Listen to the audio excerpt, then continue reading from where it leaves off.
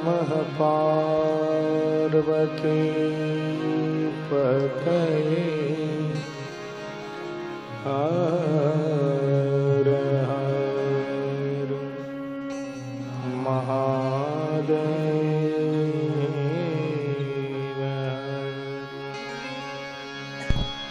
श्री राम जय राम जय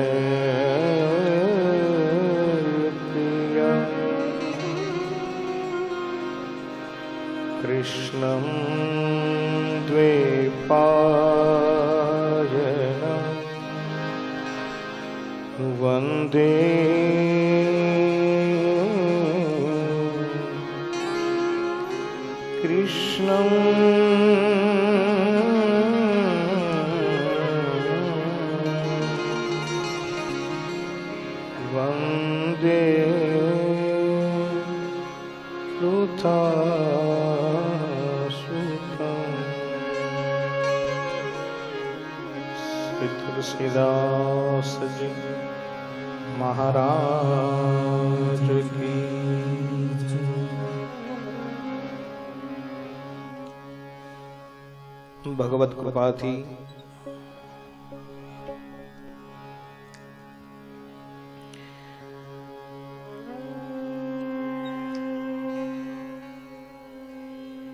શ્રી હરિની અત્યંત અનુકંપાથી લોધીડા ગામના આંગણે ચાલી રહેલી નિમિત્ત માત્ર દાણીધારિયા પરિવાર એની સંગાથે સમસ્ત ગ્રામજનોના સાથ અને સહકારથી આ દિવ્ય એવં ભવ્ય રામ કથાનો પ્રથમ દિવસનો દ્વિતીય સત્ર મેરે ભાઈ બહેન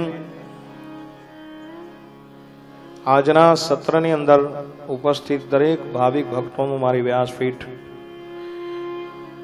ફરી એક વખત હાર્દિક હાર્દિક સ્વાગત કરે છે.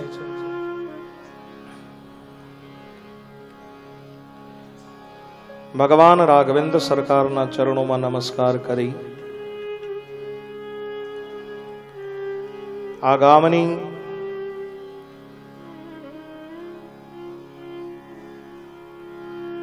પાવન ધરાને વંદન કરી. અને મેરે ભાઈ બહેન આપ સૌ વિરાજમાન છો.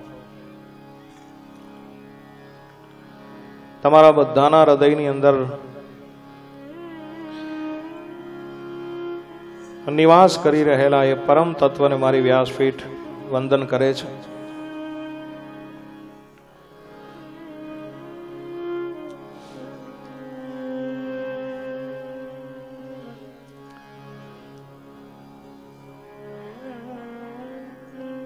ધીમે ધીમે ગરમીની શરૂઆત થઈ રહી છે ત્યારે એક દાખલો આપી અને કથાની શરૂઆત કરું. આવી ગરમી હોય ને, જંગલની અંદર આગ લાગે.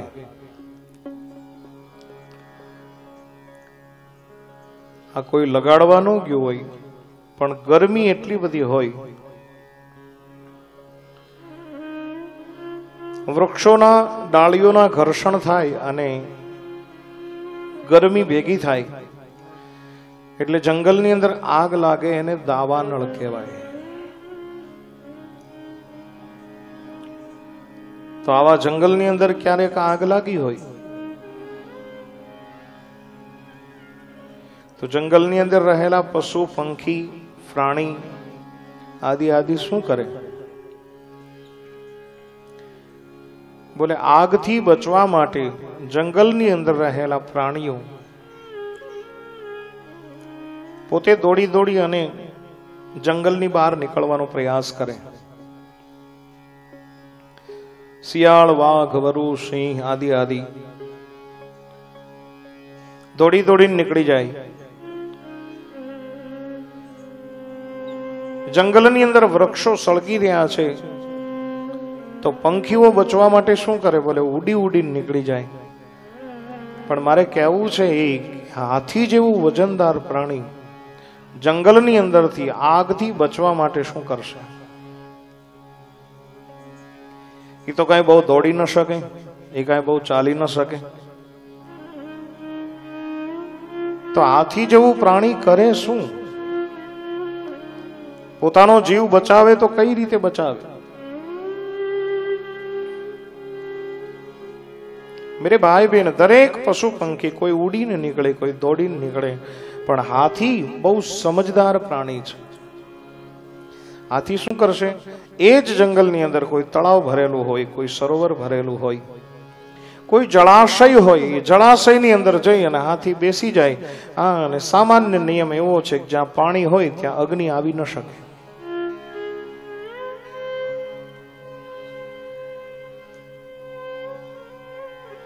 અગ્નિ હાથીને નહીં બુજાવી શકે. શા માટે? બોલે એ જળાશયની અંદર છે એ સરોવરની અંદર છે એ તળાવની અંદર છે. અને હાથી જેવું ધરખમ પ્રાણી, વજનદાર પ્રાણી, ભલે ને આખું જંગલ સળગતું રહે, પણ હાથી જેવું પ્રાણી બચી જાય. મેરે ભાઈ બહેન, કેવા માત્રનું આ દ્રષ્ટાંત છે? પણ આના દ્વારા આપણે સમજવાનું શું? બોલે, આ સંસાર રૂપી જંગલ કાયમ માટે સળગે છે. બીજા જીવ તો બધા ઉડી ઉડીને નીકળે, કોઈ દોડી દોડીને નીકળે. પણ આ જીવ રૂપી હાથી શું કરવું? આપણે બધાએ શું કરવું? બોલે, કોઈ રામ કથા રૂપી સત્સંગ સરોવર ભરાયું હોય ત્યાં જીવ રૂપી હાથી આવીને જો બેસી જાય, તો સંસારની કોઈ જ્વાળા એને બાળી શકતી નથી.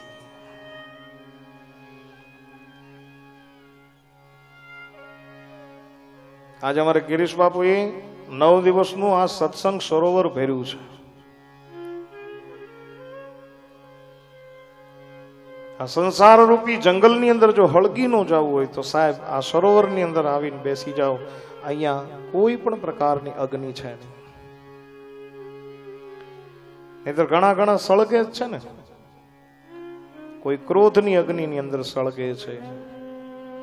કોઈ અભિમાનમાં સળગે છે. કોઈ ઈર્ષામાં સળગે છે. કોઈ અદેખાઈમાં સળગે છે. આ સંસાર આખો સળગી રહ્યો છે ત્યારે આપણે જીવ રૂપી હાથીએ શું કરવું બોલે? સત્સંગ રૂપી સરોવરની અંદર બેસવું આજ તમે બધા બહુ ધન્ય છો. અતિ ભાગ્યશાળી છો.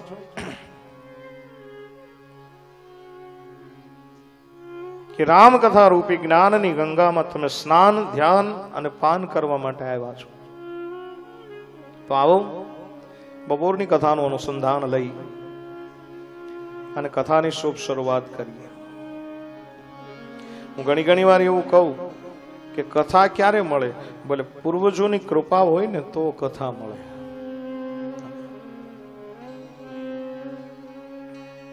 આપણા પૂર્વજોની કૃપા આપણા ઉપર હોય તો કથાની પ્રાપ્તિ થાય, સત્સંગની પ્રાપ્તિ થાય. પૂર્વજોની કૃપાથી મેરે ભાઈ બહેન ચાર વસ્તુ મળતી હોય છે. કઈ કઈ પૂર્વજોની કૃપાથી મળે છે પુણ્ય, પેલું. પૂર્વજોની કૃપાથી મળે છે પ્રીતિ, બીજું. મારા તમારા પૂર્વજોની કૃપા જો હોય તો મળે છે ત્રીજું પતિ. હા, અને ચોથું પ્રાપ્તિ. પ્રાપ્તિ શેની? સત્સંગની. પૂર્વજોની કૃપાથી મળે પતિ. પતિ કોણ? સામાન્ય રીતે બહેનોને હોય એ વાત નથી.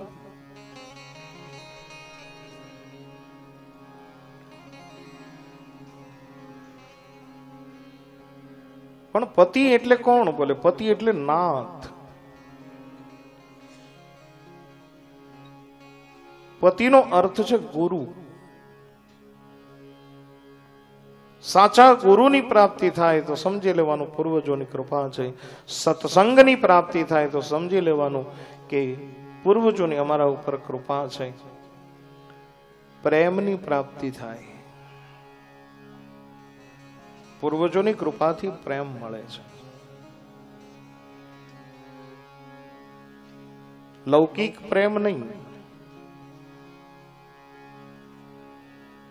પતિ પત્ની કરતા હોય એ પ્રેમની વાત નથી. ભાઈ બેન કરતા હોય એ પ્રેમની વાત નથી. મા દીકરો કરતા હોય એ પ્રેમની વાત નથી. પણ સાંસારિક સુખની અંદરથી લુપ્ત થઈ અને મેરે ભાઈ બહેન ભગવાન ઉપર જ્યારે પ્રેમ જાગે ત્યારે સમજવાનું કે મારા અને તમારા ઉપર પૂર્વજોની કૃપા થઈ છે.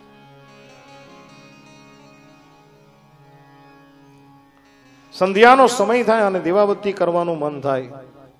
સવારનો સમય થાય, પાંચ માળા કરવાનું મન થાય. એકાંતની અંદર હો અને ભગવાનનું ભજન કરવાનું મન થાય. સમજી લેવાનું કે આ બધી પૂર્વજોની કૃપા છે. અને પૂર્વજોની કૃપાથી મળે છે શું? બોલે પુણ્ય. પુણ્યનો હાદો અર્થ કરવો હોય આપણા ગામડા ગામની ભાષામાં, તો પુણ્યનો અર્થ છે, મેરે ભાઈ બેન, દાન.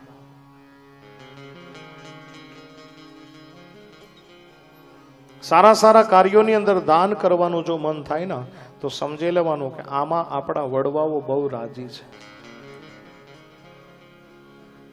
તમારા ગામની અંદર આવડું મોટું ભગીરથ કાર્ય થઈ રહ્યું છે ત્યારે મેરે ભાઈ બહેન સવારની કથા હું જ્યારે પૂર્ણ કરીને અહીંથી જતો હતો, ત્યારે પ્રથમ જે નામ આવ્યું એ મને બહુ ગમ્યું. આ બધા કાશીના ખેતરમાં વાવવા જેવું છે સાહેબ.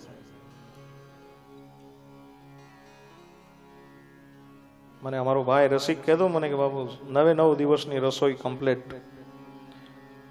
આમાં કઈ નવાઈની વાત નથી, આ તો તમારું ગામ છે અને તમારે કરવાનું છે પણ જે પહેલું નામ આવ્યું ને એ મને બહુ ગમ્યું. કેમ કે પહેલું નામ આજની રસોઈ આપણા સરપંચ સાહેબની છે.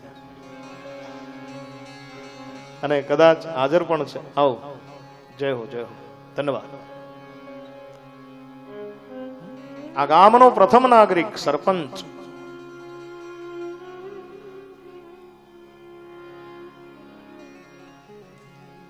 બીજા કોઈને આવી હોત તો કદાચ મને રાજીપો નતા પણ પહેલી જ રસોઈ તમારા ગામના સરપંચ સાહેબની જોરદાર તાલીઓના ગડગડાટ વડે આપણે વધાવવા રહ્યા એમને. આવા પ્રસંગોની અંદર સાહેબ વાપરવાનું મન થાય, સમજી લેવાનું કે પૂર્વજો બહુ રાજી છે દાણીધારિયા પરિવારના પૂર્વજો નહીં, આખા ગામના પૂર્વજો રાજી થાય છે. કે જે ગામની અંદર આવું ભગીરથ કાર્ય થતું હોય, જે ગામની અંદર હજારો જીવાત્મા ભજન અને ભોજનથી સંતૃપ્ત થતા હોય,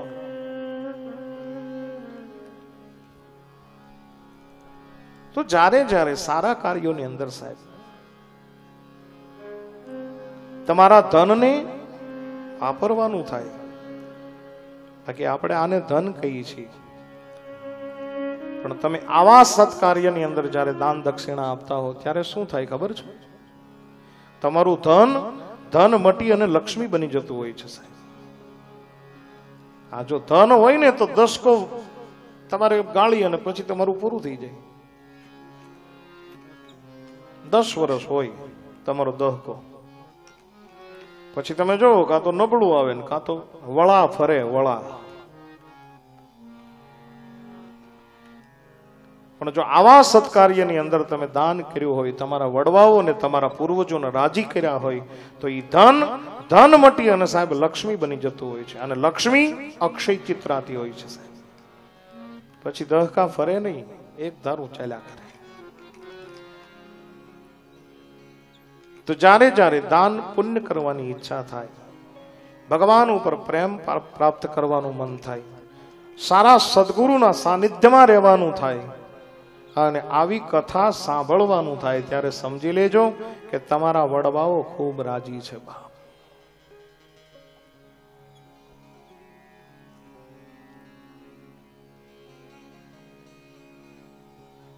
અને પૂર્વરો પૂર્વજો જો રાજી થાય ને, પછી બીજું કઈ નથી કરવું પડતું.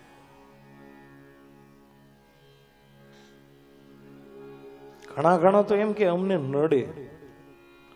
હવે જે નડવાનું હતું એ જીવતા જીવ થઈ ગયું હોય. બરોબર?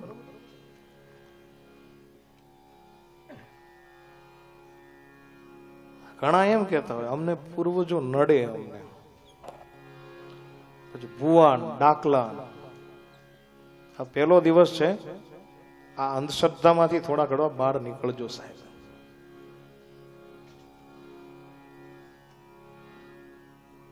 કોઈ દિવસ કોઈ કોઈને નડતું જ નથી. જો સરખી રીતે ભગવાનનું ભજન કરવામાં આવે તો કોઈ દિવસ. અને આ ફાસ્ટ યુગમાં સાહેબ નડવાનો કોને સમય છે એ તો આ જમાનો એટલો બધો ઝડપી થઈ ગયો છે. ખુદને નડવું હોય તો ટાઈમ નથી લેવો.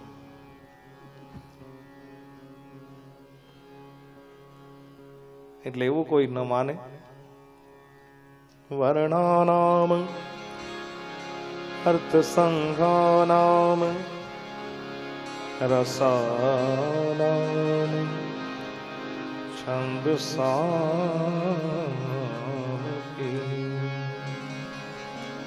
મંગલાનામ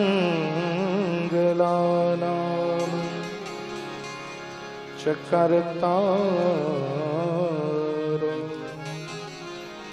વંદે વાણી વિનાયકો.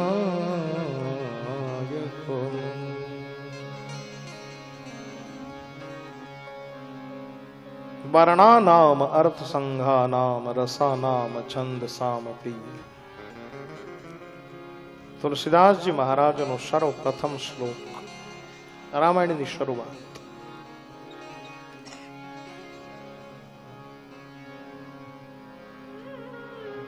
મેં સવારે કીધું હતું કે વર્ણ શા માટે? રામની કથા છે, પહેલો શબ્દ રામ નો આપવો જોઈએ. પણ નહીં. વર્ણ.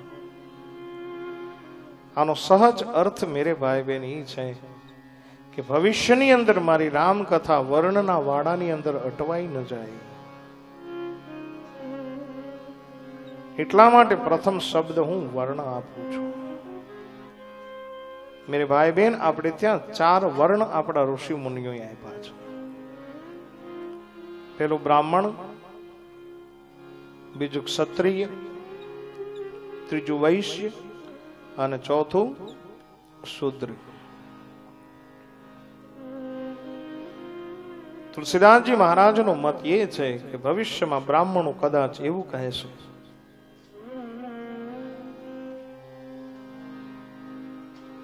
કે અખિલ બ્રહ્માંડનો નાથ જેથી આ ધરાધામ ઉપર અવતાર ધારણ કરીને આવ્યો. ત્યારે એમના ગુરુ બનવાનો મોકો અમને મળ્યો હતો એટલે આ રામકથા અમારી છે. વશિષ્ઠ મહારાજ હતા. રામના ગુરુ. ભવિષ્યની અંદર ક્ષત્રિય લોકો એવું કહે છે કે અમારા મહારાજ દશરથ ક્ષત્રિય હતા. અને ક્ષત્રિયના ઘરે રાઘવેન્દ્ર સરકારને જન્મ લેવો પડ્યો હતો તો આ કથાની ઉપર અધિકાર અમારો છે. વૈશ્ય લોકો એવો દાવો કરે કે આવડા મોટા વિરાટ આયોજનો, દિવ્ય આયોજનો અમારા દાન વગર નથી થતા, અમારા સહકાર વગર નથી થતા. તો આ રામકથા ઉપર અધિકાર અમારો છે. અને શુદ્ર લોકો એવો દાવો કરે કે ભગવાન રામને જેથી ચૌદ વર્ષનો વનવાસ મળ્યો હતો ને, તેથી તમે કોઈ નહોતા સાચવા. અમે ચૌદ વર્ષ શુદ્ર લોકો કે અમે સાચવા હતા. કંદ, મૂલ, ફલ, ભરી ભરી, દોના, આ બધું દયાવતા કોણ? શુદ્ર માણસો. કૌલ કિરાત લોકો.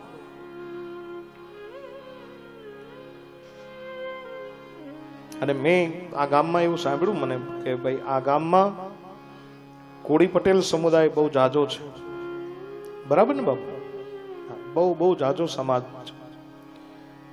તમને આજ હું બહુ રહસ્યવાળી વાત કરી દઉં કે તમારી જ્ઞાતિ આજકાલ નથી આલી આવતી. તમારી જ્ઞાતિ રામા અવતાર વખતથી આલી આવે છે સાહેબ. જેથી રામ હતા ને, ત્યારે ગોસ્વામી તુલસીદાસજી એક શબ્દ આપ્યો છે ભગવાનને મળવા કોણ આવ્યું? બોલે, કૌલ કિરાત. કિરાત એટલે ભીલ અને કોલ એટલે તમે, કોળી લોકો. એટલે તમે તમારી જાતને કઈ નાની નહીં સમજતા. ભગવાન રામની સેવા કરવાનો મોકો તમારી જ્ઞાતિને મળ્યો છે જ્યારે ભગવાન રામ વનવાસમાં હતા ત્યારે. એટલે તમે બધા બહુ ભાગ્યશાળી છો ભાઈ.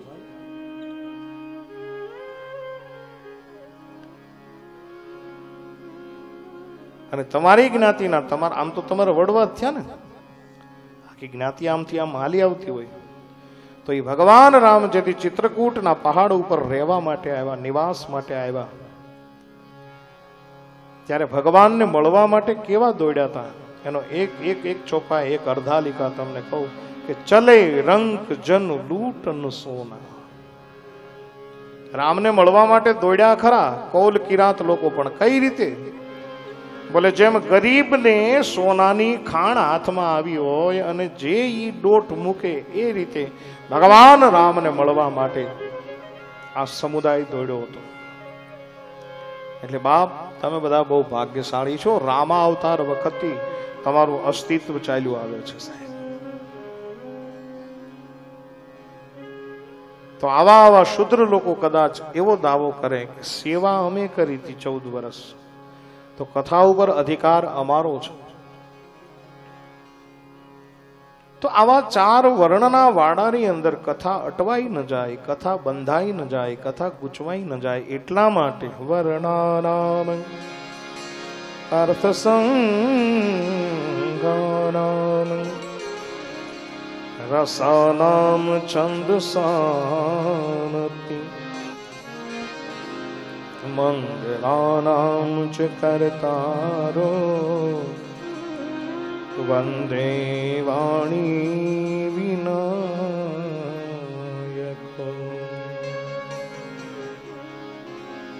પ્રથમ શબ્દ વર્ણ પ્રથમ અક્ષર વ આજે મારા સાધુ સમાજની કથા છે, એટલે કથામાં વધારે આનંદ આવે, થોડાક વધારે ડીપમાં ઉતરી ઘણા ઘણા લોકો એમ કહે ને ભાગવતથી તે પિતૃનો મોક્ષ થાય, એવું છે જ નહીં કઈ. રામ કથાથી પણ પિતૃનો મોક્ષ થાય છે. આપણે ત્યાં સામાન્ય રીતે એવું હોય કે ભાઈ, પિતૃની પાછળ ભાગવત કથા કરાવો તો મુક્તિ મળે, સહજ મુક્તિ મળે. શા માટે? બોલે જેને મુક્તિની જરૂર છે, એને અમૃતની જરૂર છે. અમૃત કોઈ પાઈ દે તો એનું એ અમર બની જાય અજર બની જાય, મુક્ત થઈ જાય. તો ગુજરાતી વ્યાકરણ સાહિત્યમાં વ અક્ષર છે ને એ અમૃત બીજ છે. એવું શાસ્ત્રકારો કહે છે. અને આ અમૃત બીજનું પાન સુખદેવજી મહારાજે પરીક્ષિતને કરાયું હતું. જ્યારે સુખદેવજી મહારાજ આવી અને આસન ગ્રહણ કર્યું. પરીક્ષિત મહારાજે પ્રશ્ન પૂછ્યો કે, પ્રભુ, જેનો અંત નજીક હોય એને શું કરવું? મહારાજ અમને સમજાવો કે, જેનું મૃત્યુ નજીક હોય, એને આંતિક કલ્યાણ કરવા માટે શું કરવું? ત્યારે સુખદેવજી મહારાજે પરીક્ષિતની આગળ કથા શરૂ કરતા વ અક્ષરથી કથા શરૂ કરી હતી. શા માટે? વ અક્ષર અમૃત બીજ છે એટલે. વર્યાનેશ તે પ્રશ્ન કૃતો લોકહિતો નૃપ આ શ્રીમદ ભાગવત તો વ છે એ અમૃત બીજ છે અને અમૃત બીજ આપી અને પરીક્ષિતને નિર્ભય બનાવ્યા હતા બસ એ જ રીતે ગોસ્વામીજી મહારાજે રામાયણની શરૂઆતમાં વ અક્ષર આપી અને સિદ્ધ કરી દીધું કે ભાગવત પણ પિતૃને તારનારી છે રામ કથા પણ પિતૃને તારનારી છે અમૃત મળે છે વર્ણાનામ અર્થ સંધાનામ રસાનામ છંદ સામપી મંગલાનામ ચ કરતારો વંદે વાણી વિનાયકો મેરે ભાઈ બહેન સાત શ્લોકની અંદર અલગ અલગ દેવતાઓને ગોસ્વામીજીએ વંદન કર્યું છે તો એમાં પ્રથમ વંદન કોનું વંદે વાણી વિનાયકો વિનાયક એટલે ગણપતિ પ્રથમ વંદન ગણપતિ મહારાજને કર્યું છે. અને આમે આપણે ત્યાં જો તો બધી જગ્યાએ ગણપતિ પહેલા પૂજાય. તમે સવારે જોયું છે આ વિદ્વાન બ્રાહ્મણો જ્યારે શરૂઆત કર્મકાંડની કરે, વક્રતુંડ મહાકાય સૂર્ય કોટી સમપ્રભ નિર્વિઘ્નમ કુરુ મે દેવ સર્વ કાર્યેષુ સર્વદા આમ કહી અને પછી બધા બીજા બધા દેવતાઓ આવે. મોટા મોટા યજ્ઞોની શરૂઆત થાય તો પછી એ રીતે શરૂ થાય.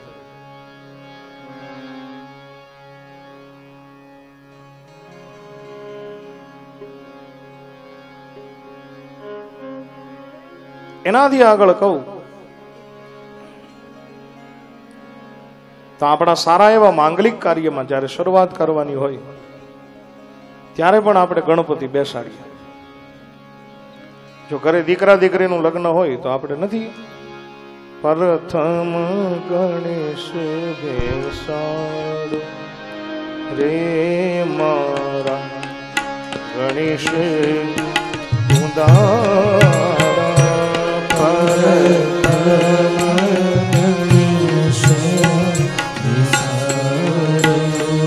આ લગ્નના ગણપતિ.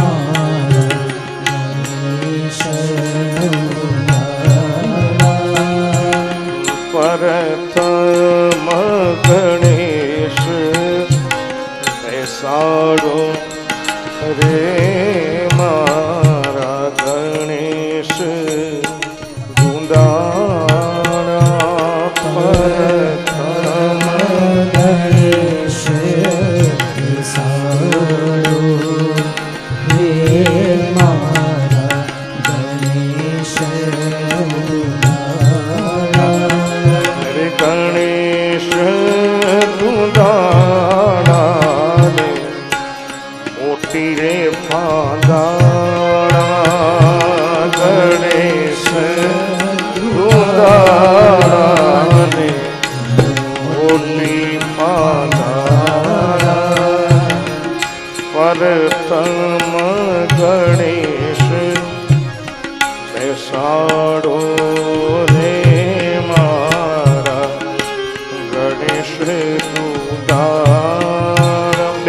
બધા ગાઓ આવડે? આવડે છે ને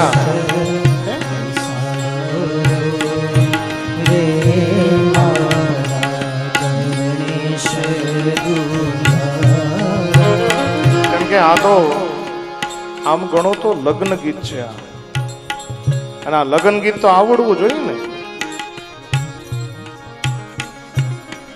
એટલે મેં તમને બેનો પૂછ્યું એટલા માટે કે અત્યારે બધું બંધ થઈ ગયું છે હવે. અત્યારે આપણે ક્યાં લગ્ન ગીત રહ્યા છે?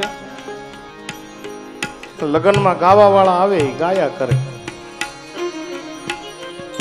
પતિ પત્ની જે હોય એ ફેરા ફરવા વાળા ફેરા ફેર્યા કરે. લગ્નની અંદર અત્યારે આ માહોલ આ છે. નહીતર આપણા પહેલાના લગ્ન ગીત તમે જુઓ. જ્યારથી લગ્ન આવી જાય ને ત્યારથી બેનો ગીત ગાતી હોય રોજ. આપણે એને સાંજીના ગીત કહીએ. પણ હવે આ બધું વયું ગયું છે કાળક્રમ પ્રમાણે. કદાચ આ બાજુ હોય તો મને બહુ ખબર નથી.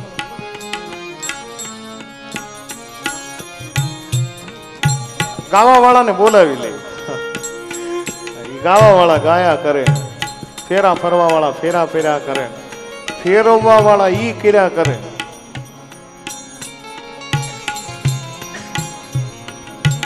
લગ્નમાં એક મહત્વનું પાસું જમણવાર હોય. ઘણા ઘણા એ જ વાટ જોતા હોય. ક્યારે વરઘોડો આમ જાય ને આપણે આમ.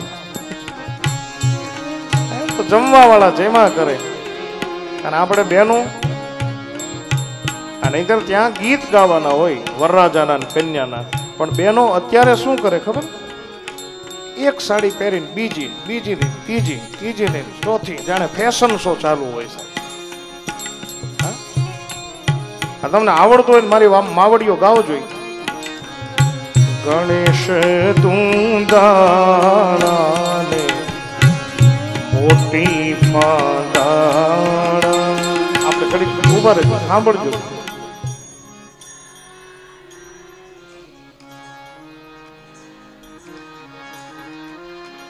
હરે પરતમ ગણેશ બેસાડો. રે મારા ગણેશ દુંદાડા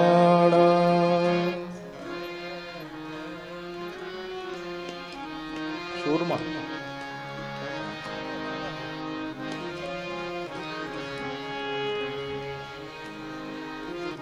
વાહ ધન્યવાદ ધન્યવાદ બેનો ધન્યવાદ બાપ આજ મને બહુ મજા આ સાહેબ લોથીડામાં આ બધા સૂરમાં છે બાપુ, સૂર ચૂક્યા નહીં આ લોકો, જો. આજ પહેલા દિવસે મને એમ થઈ જાય કે બધાને મોઢામાં જલેબીનું ઘૂસડું મૂકી દઉં એક એક. જય હો જય હો બાપ, જય હો. આનંદ આનંદ. પરતમ ગણેશ રે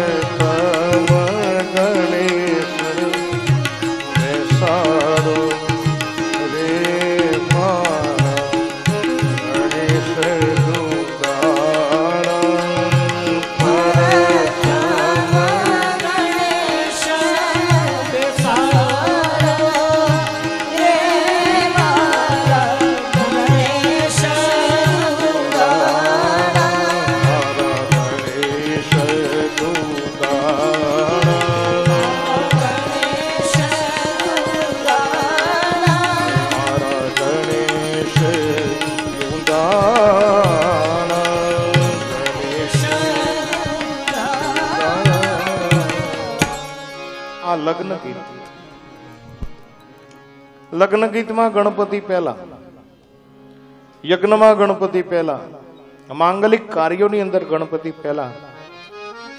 મને કહેવા દો, આપણે ત્યાં બહેનો પહેલા સેવ પાડતી અત્યારે પડીકા આવી ગયા. અત્યારે તૈયાર મળે.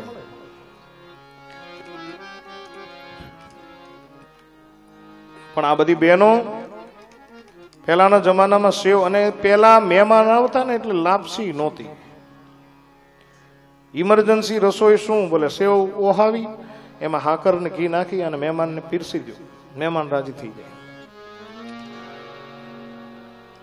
યા પહેલાના જમાનામાં સેવ પાડતા ને, એ બહુ પ્રક્રિયા બહુ સારી.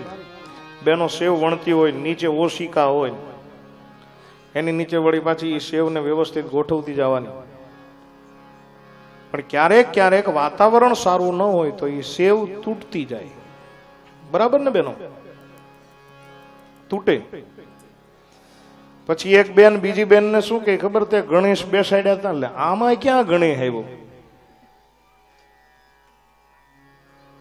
આ તોય એક ભાવ છે. ગણપતિ માંડ્યા હતા, ગણેશ બેસાડ્યા, બોલે, નહીં બેન એ તો હું ભૂલી ગઈ. પછી બહેનોની સહજ જે સાહજિક વૃત્તિ છે, એનાથી શું કરે, જુઓ. પછી ઘરની મૂર્તિ ન લેવાય. જે લોટ શેવનો બાંધ્યો ને એ જ લોટમાંથી પાંચ નાના નાના પેલા કરી અને ખાટલે મૂકે. જ્યાં સેવ સુકવવાની હોય ત્યાં. એ આપણા ગણપતિ. પણ સાહેબ, શ્રદ્ધાની વાત તો તમે જો એ ગણપતિ બેસાડીને પછી સેવ પાછી પાડે તો એ પડે લ્યો. અને વળી પાછી એકા બીજી વાતો કરતી હોય. જો ગણેશ નહોતા બેસાડ્યા ને એટલે તૂટતી આ. ગણેશ બેસાડી દીધા એટલે કામ હો ગયા કામ બન ગયા. પછી થાય કેવું ખબર? સેવ સુકાઈ જાય ને સેવ સેવ બેન લઈ જાય. ગણપતિ ત્યાં જ પડ્યા હોય, પલંગ હા, એને કાગડા લઈ જાય.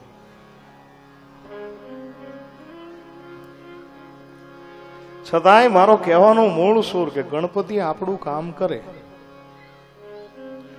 આ ભૂદેવો છે ને, એમને વિશેષ ખ્યાલ હોય. ક્યારેક ગણપતિની મૂર્તિ ન હોય ને શું કે સોપારી પણ ચાલશે. એના ગણપતિ બનાવેલી. કાંઈ ન હોય તો ગોળના ગણપતિ બનાવે. ગણપતિ પહેલા. ગિરીશ બાબુ મને એવું લાગે ચોર ચોરી કરવા જાય ને, તોય ગણપતિનું નામ લઈને જાતો હશે. હે ગણેશ, આજ ક્યાંક હારા ઘરમાં હાથ લાગ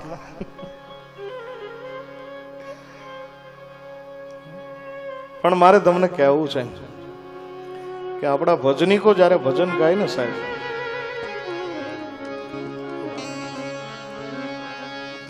કિરવાન. એ ભજનીકો જ્યારે ભજન ગાય, ત્યારે પણ ગણપતિનું સ્મરણ કરે છે. સાધુનું ઘર છે. અને મને આમ ગણપતિ હું ગણપતિ જ માંડું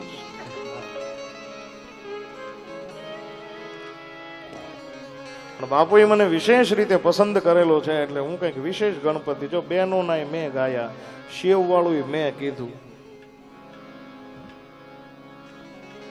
પણ ભજનીકો ભજન ગાતા હોય, જ્યાં પ્રોગ્રામો થતા હોય, જ્યાં ડાયરાઓ થતા હોય, ઈ ગણપતિ કેવા હોય? એ જીરે સંતો. ગૌરીનું પુત્ર રે, એ ગણેશજીને સમરું. જીરે સાધો.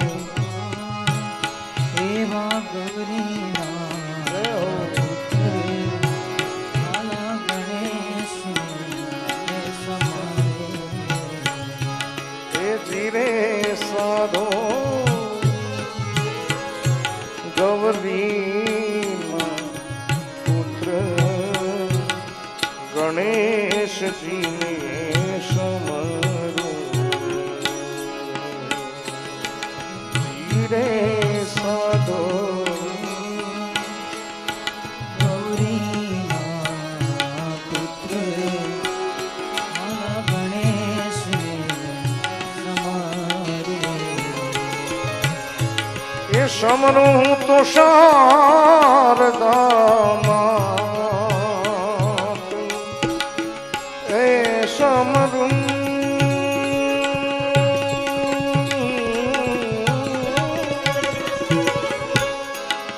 એ સમરું એ સમરું હું તો શારદામાં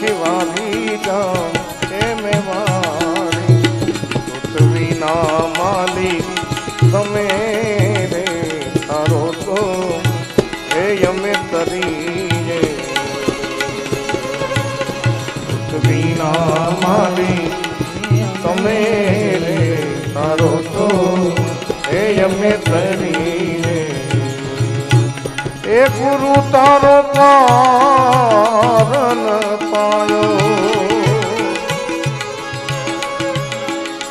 સદગુરુ તારો પારન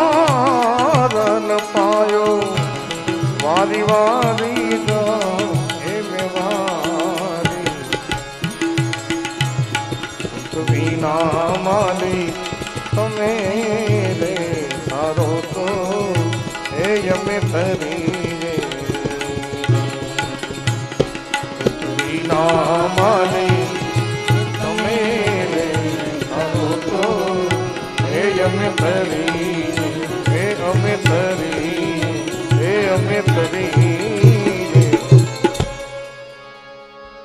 ભજનના ગણપતિ આવા હોય। આમાં કોઈને લાગે આ કથા શરૂ છે? આપણને એમ લાગે પ્રોગ્રામની શરૂઆત છે. પણ મેરે ભાઈ બહેન, આપણે નવ દિવસ આવી જ મોજ કરવાની છે.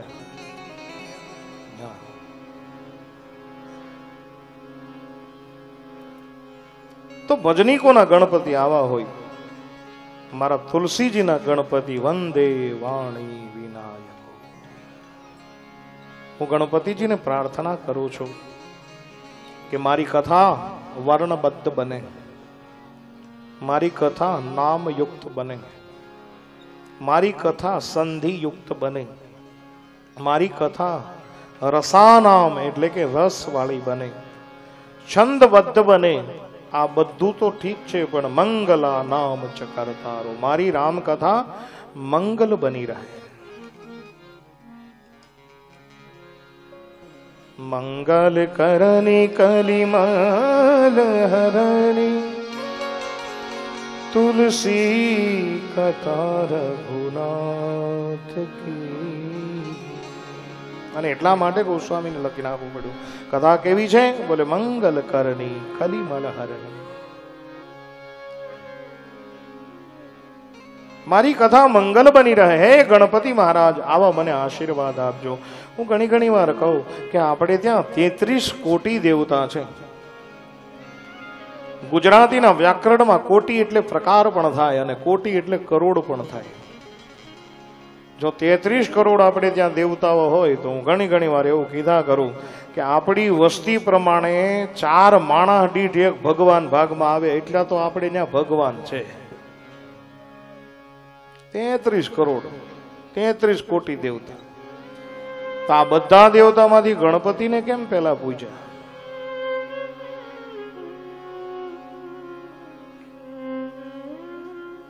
બ્રહ્માજીને કેમ નહીં? નહીતર ઈ તો સૃષ્ટિ બનાવે છે, લ્યો.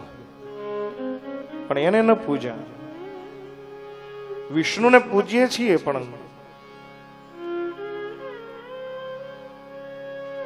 ગણપતિ પેલા આપણે ત્યાં રામ પણ નહીં, કૃષ્ણ પણ નહીં, શિવ પણ નહીં, બ્રહ્માજી પણ નહીં, ઇન્દ્ર, વરુણ કોઈ નહીં. ગણપતિ જ શા માટે પહેલા પૂજાય? હું ઘણી ઘણી વાર એવું કીધા કરું, ગણપતિમાં પાંચ ગુણ એવા છે કે તેત્રીસ કોટી દેવતામાં કોઈની પૂજા અગ્ર પૂજા નથી, ગણપતિની પૂજા અગ્ર પૂજા છે. નહીતર ગણપતિના પિતા શંકર છે. એની માતા ગિરજા છે, પાર્વતી. એના ગણપતિ એવું કુટુંબ છે કે બધું પૂજાય. જો ભોળાનાથે પૂજાય. માં પાર્વતી પણ પૂજાય. એમના ઘરેણા નાગ પણ પૂજાય. એમના વાહનો, નંદી, ઉંદર, આદિ આદિ, જે કાંઈ છે એ બધું જ તમે લઈ લેજો પછી. પણ મારો સૂર એ છે કે ગણપતિની પૂજા પહેલા કેમ? मेरे ભાઈ બહેન ગણપતિની અંદર પાંચ ગુણ એવા છે ધ્યાન સે સુને આ પાંચ ગુણ ક્યાં બોલે પહેલો ગુણ છે ગણપતિનું પેટ મોટું બીજો ગુણ છે ગણપતિના કાન મોટા ત્રીજો ગુણ છે ગણપતિનું નાક મોટું ચોથો ગુણ છે ગણપતિની આંખ ઝીણી, નાની. અને પાંચમો અને અંતિમ ગુણ મેરે ભાઈ બહેની છે, ગણપતિ બહુ ઊંચા પણ નથી, ગણપતિ બહુ નીચા પણ નથી, ગણપતિ મધ્યમ કદના છે. હું ઘણી ઘણી વાર એવું કથામાં કીધા કરું, ઘણા ઘણાને સમાજમાં પેલા પૂજાવાના અભરખા હોય. ઘણા ઘણા એમ કે મને નો કીધું એમ. સત્કાર્યમાં કહેવાની રાહ ન હોય બાપ. પહોંચી જવાય. અંદર ઘણા ઘણા રાહ જોઈને ઊભા હોય હમણાં કે ને પછી જાય અને અમને પહેલા જ કહેવું પડે. પહેલા પૂજાવાના જેને અભરખા છે ને સાહેબ, એવા એવા વ્યક્તિઓ માટે કહું કે જો ગણપતિના પાંચ ગુણ આપણી પાસે આવી જાય તો સમાજમાં આપણે પણ પહેલા પૂજાવા માંડીએ. પણ ગણપતિને અનુસરવા પડે.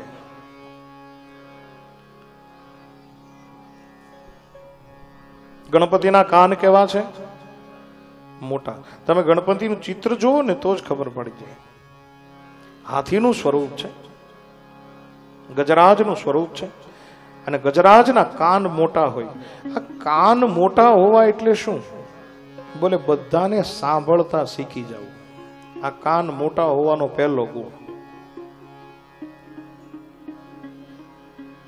આપણા સમાજની તકલીફ એ છે કે આપણે કોઈને હમ હમ સાંભળતા નથી. આ દુખીઓ માણા આપણી ઘરે આવે ને, એ કંઈક આશા લઈને આવ્યો હોય, તો આપણે શું કરીએ ખબર? એ દુખીઓ માણસ જ્યારે દુઃખ સંભળાવતો હોય, ત્યારે આપણે કાં તો ટીવીના રિમોટમાં હોય કાં તો આપણા મોબાઈલમાં હોય આજની તકલીફ છે સાહેબ. સમાજમાં જેને પહેલા પૂજાવવું છે, એને બધાને સાંભળવા પડશે.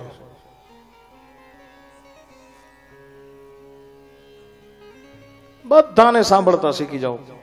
ગરીબને પણ સાંભળો, તમંગરને પણ સાંભળો, નાનાને પણ સાંભળો, મોટાને પણ સાંભળો. આ ગણપતિનો પહેલો ગુણ છે. બીજો ગુણ, ગણપતિનું પેટ મોટું. આનો અર્થ શું થાય? ગણપતિનું પેટ મોટું હોવું એટલે મેરે ભાઈ બેન આ ગુણ મને તમને એ સમજાવવા માંગે છે કે બીજાએ કહેલી વાત તમારે તમારા પેટમાં હંગરી રાખવી એટલે મોટા પેટવાળો ગણાય આપણે જો આ વૃદ્ધ દાદાઓ બધા બેઠા એને પૂછો, પહેલાના જમાનામાં આપણે એવું કહેતા, એવો કોઈ માણા હોય ને, એને આપણે એવું કહેતા કે ભાઈ, આ તો સમદર પેટો માણસ છે. આ શું? માણસો એવું કહેતા કે આ તો મોટા પેટ વાળો છે. અને અમુક અમુક વ્યક્તિઓ એવા હોય એ છે ને વાત સંઘરવાની તિજોરી હોય સાહેબ. ત્યાં તમે વાત નાખી દો એટલે એ વાત પછી કામ ખડે પડી જાય સાહેબ.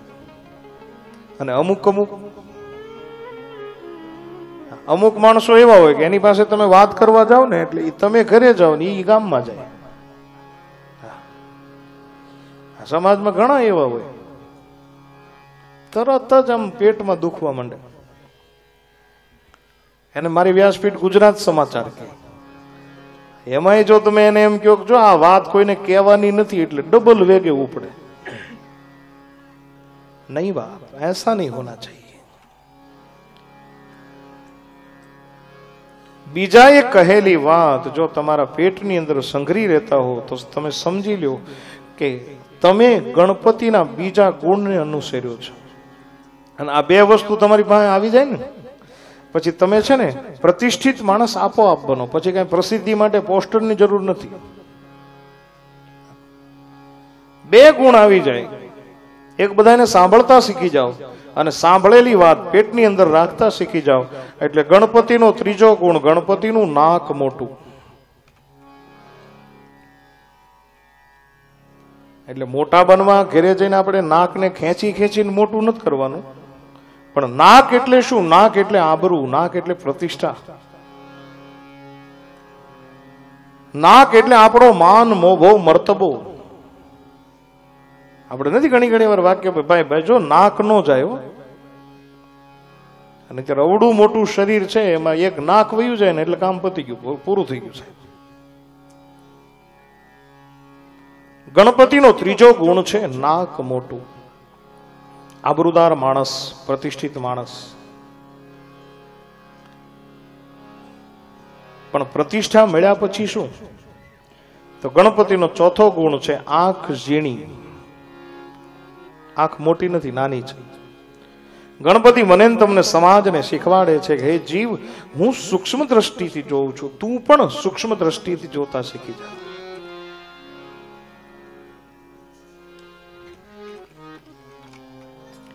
આ જગતને બહુ ઝીણી દ્રષ્ટિથી જોવા જેવું છે. અને ચાર ગુણ આવી જાય. એટલે ગણપતિ એવું કહે છે હું બહુ ઊંચો પણ નથી, હું બહુ નીચો પણ નથી. બોલે, તો હું મધ્યમ કદનો છું.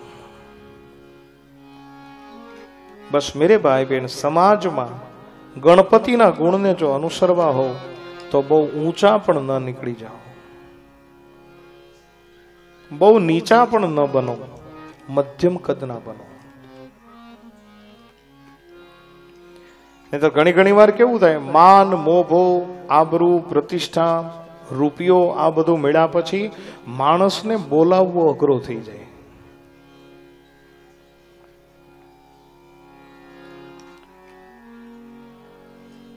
માણસ એટલો બધો અભિમાની થઈ જાય, એટલો બધો અભિમાની થઈ જાય. પણ ગણપતિ સાથે સાથે એવું પણ કહે છે કે તમને સમાજમાં માન, પાન, મોભો મળ્યા પછી એટલા બધા નીચા પણ ન રહ્યો.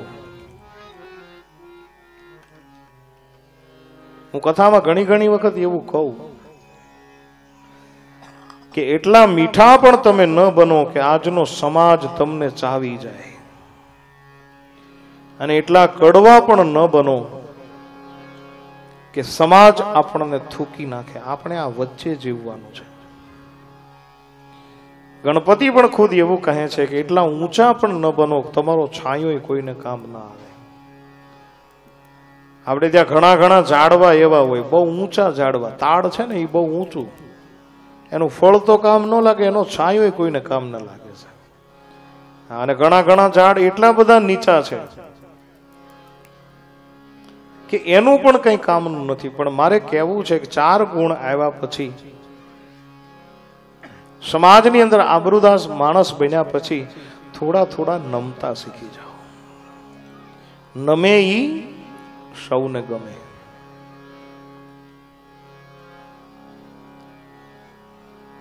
થોડા થોડા નમો ને, તોય જગતમાં કામ બને છે જો, હમણાં ઉનાળાની સિઝન આવશે. આંબે મોર લાગવા માંડ્યો છે. એની જ્યારે કેરી થાય ત્યારે તમે જો એ આંબા ઉપર ફળ આવે પછી આંબામાં શું પ્રક્રિયા થાય? આંબાની ઉપર કેરીઓ આવી જાય, પછી આંબો આમ ઉપર જાય કે નીચો નમે? હે? હા, નીચો નમે. બસ આ આ જગતના ઝાડવાઓ પણ આપણને શિખામણ આપે છે કે, હે જીવ, તને જેથી ફળ લાગે ને તેથી ઊંચો નહીં ચડી જાતો, થોડોક નીચો રમજે. જેથી તારા ફળ સમાજને કામ લાગે છે તો ગણપતિના આ પાંચ ગુણ, પેટ મોટું, શ્રવણ મોટા, નાક મોટું, આંખ ઝીણી અને બહુ ઊંચા નહીં, બહુ નીચા નહીં. મધ્યમ કદના ગણપતિ. આવા ગણપતિના જો પાંચ ગુણ મારાન તમારામાં હોય, તો સમાજમાં જેમ ગણપતિની પૂજા પહેલી થાય, તેમ સમાજમાં તમારી પણ પૂજા પહેલી થાય. એમ કઈ અને ગોસ્વામીજી મને તમને આગળ લઈ જાય છે. આવો. બીજો શ્લોક. ભવાની શંકરો વંદે. શ્રદ્ધા વિશ્વાસ રૂપિણો યાભ્યામ વિના ન પશ્યંતિ સિદ્ધા સ્વાંત સ્થમીશ્વરો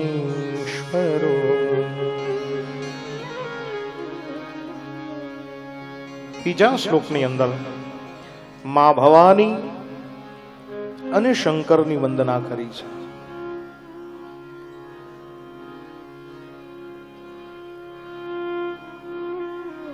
થોડોક સાવધાન થઈ અને સાંભળો કે ભવાની કોણ છે અને શંકર કોણ છે. ભવાની શંકરો વંદે શ્રદ્ધા વિશ્વાસ રૂપિણો. ભવાની અને શંકર કેવા છે બોલે શ્રદ્ધા અને વિશ્વાસ સ્વરૂપ છે.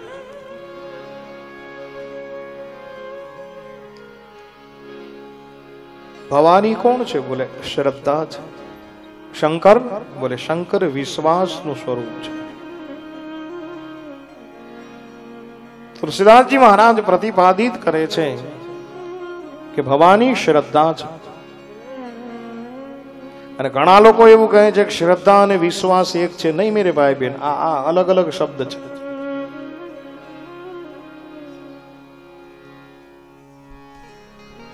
ભવાનીને દક્ષના યજ્ઞમાં જઈ અને બળી જવું પડ્યું એટલે એક અર્થમાં મારે કહેવું હોય તો કહી શકું કે આપણી શ્રદ્ધા ક્યારેક બળે છે.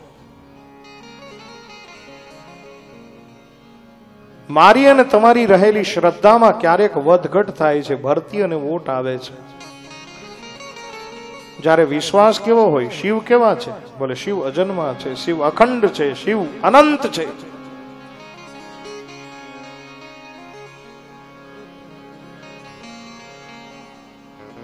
વિશ્વાસ અખંડ હોય, શ્રદ્ધામાં વધઘટ હોય, સાહેબ. આપણે જે અત્યારે છે ને ભગવાન ઉપર, એ શ્રદ્ધા છે. પણ એ શ્રદ્ધા જો વિશ્વાસની અંદર પરિવર્તિત થઈ જાય, તો મેરે ભાઈ બેન આપણું કામ થાય. અને શ્રદ્ધા વિશ્વાસમાં પરિવર્તન કઈ રીતે થઈ હતી? કોને કોને થઈ હતી? બોલે, મીરાબાઈને થઈ. શ્રદ્ધામાંથી વિશ્વાસ પરિવર્તન કોને થયો? બોલે, જુનાગઢના નરસિંહ મહેતાને થયો. વીરપુરના જલારામને વિશ્વાસ થયો.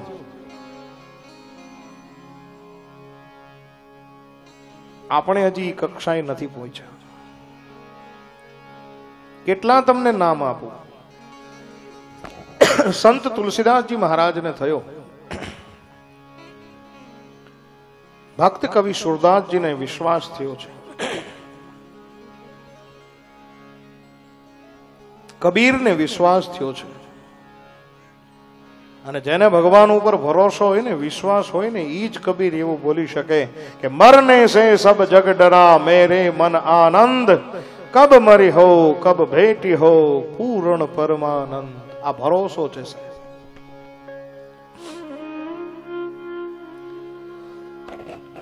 પણ મારે તમને છે એ શું છે? બોલે, આ શ્રદ્ધા છે. અને આ નવ નવ દિવસની કથા શા માટે છે? શ્રદ્ધા શ્રદ્ધા મટી અને ભરોસો થઈ જાય બસ એ માટે. આપણને શ્રદ્ધા છે. સામે તમને એના દાખલા આપું, તમને એમનું.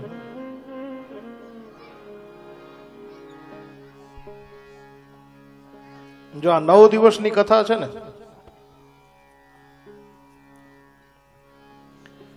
નવ દિવસ આપણું ગામ એવું હિલોળે ચડશે સાહેબ. અને મને તો બહુ આનંદ છે એ વાતનો કે તમે પહેલે જ દિવસે આટલી સુંદર મજાની રીતે મેરે ભાઈ બહેન કથાનું શ્રવણ કરી રહ્યા છો.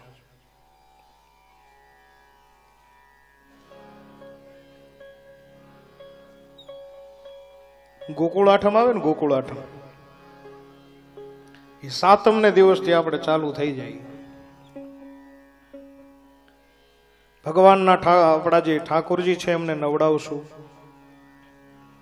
સુંદર મજાનું સ્નાન, સુંદર મજાના વાઘા, વસ્ત્રો, સુંદર મજાનું એ તિલક. પણ ક્યાં સુધી? ભગવાન કૃષ્ણનો જન્મ થઈ જાય ત્યાં સુધી. નોમને દિવસે પાછું હતું એવું ને એવું. આ શું છે? આ આપણી શ્રદ્ધા છે. તમને બીજો દાખલો આપો. શ્રાવણ મહિનો આવે ને શ્રાવણ મહિનો. એટલે તમે જોજો. તાંબાના લોટા હાથમાં હોય. ઓમ નમઃ શિવાય, ઓમ નમઃ શિવાય, ઓમ નમઃ શિવાય. શિવાલયની અંદર લાઈન લાગે સાહેબ. ઓમ ત્રંબકમ યજા મહે સુગંધિમ પુષ્ટિવર્ધનમ રૂકમ્યુ બંધનાન મૃત્યુર્મોક્ષ. આ બધું ક્યાં સુધી? એક મહિના સુધી આપણને એમ લાગે હો હો. આ એક મહિનામાં તો ભોળાનાથને પ્રસન્ન કરી નાખશે. પણ જ્યાં ભાદરવો બેસે, પછી ક્યાં ભોળાનાથ ને ક્યાં શિવાલય ને ક્યાં શિવના પૂજારી કાંઈ નક્કી ન હોય. આ મારી તમારી શ્રદ્ધા છે. ક્યારેક ભરતી આવે, ક્યારેક ઓટ આવે. તમે હજી ન સમજાવ તો એક બીજો દાખલો આપો. નવરાત્રી આવે ને નોરતા. એ ગરબીના નવા ફોટા લગાડશે. શેરીઓમાં તોરણ બાંધશે. નવ દી માતાજીના એ ધબધબાટ. નવ દિવસ સુધી એવા ગરબા કરે, એવા ગરબા કરે. ગાવું છે. નવરાત્રી તો નવરાત્રી છે સાહેબ. અને આપણે અહીંયા મને જો ગિરીશ બાપુ એમ જ કીધું કે આનંદ કરવાનો છે.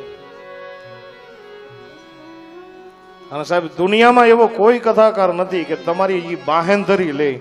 હું તો કાયદેસર બાહેંધરી લઉં હું તમને નવ દિવસમાં આનંદ કરાવીશ સાહેબ. હા. નહીતર તમને કોઈ એમ ન કે હું આનંદ, બાકી આપણું એક પણ સત્ર કોઈ દિવસ નિરા, આમ નિરસ નહીં જાય. હાલો, આપણે શરૂઆત કરીએ. નવરાત્રીમાં શું હોય?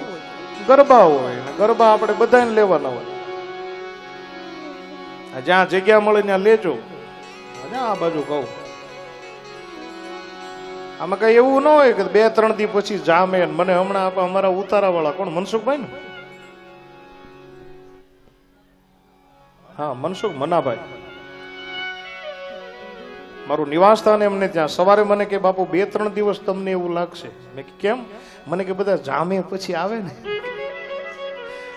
આ હું દહીં છે જમાવાનું હોય? આ બેઠા ભેગા જામી ગયેલું જ હોય. આ દહીં થોડું છે આમાં જમાવવું હોય બે ત્રણ દીએ જામે હોળી પાસે આપણે જાય ઘણા ઘણા જાપે બેઠા છે. રામ જન્મ થાય પછી જઈએ આ ગામ તો બહુ સારું છે. ઘણી ઘણી જગ્યાએ આપણે એવું થાય, હું તો ગાડી લઈને મારી નીકળું તો જાપે કહેતો હોય એટલે ભાઈ, કથામાં આવજો એમ. કથા તો કથા છે સાહેબ, આ તો ભગવાનનો ભાવ પ્રગટ કરવાનું એક સાધન છે કથા. નવરાત્રીમાં ગરબા, આવો જોઈએ આપણે લઈ, હું જોઉં અહીંયા.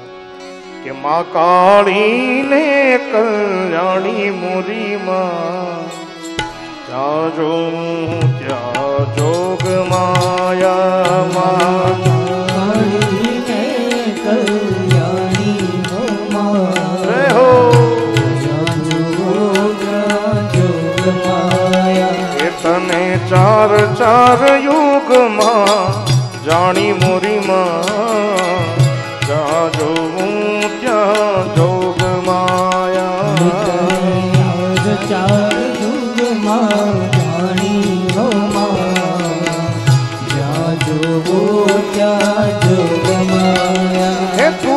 તું તો ભક્તો ના દુઃખ હરનારી રે માં. ત્યાં જોવું ત્યાં મળી જોગ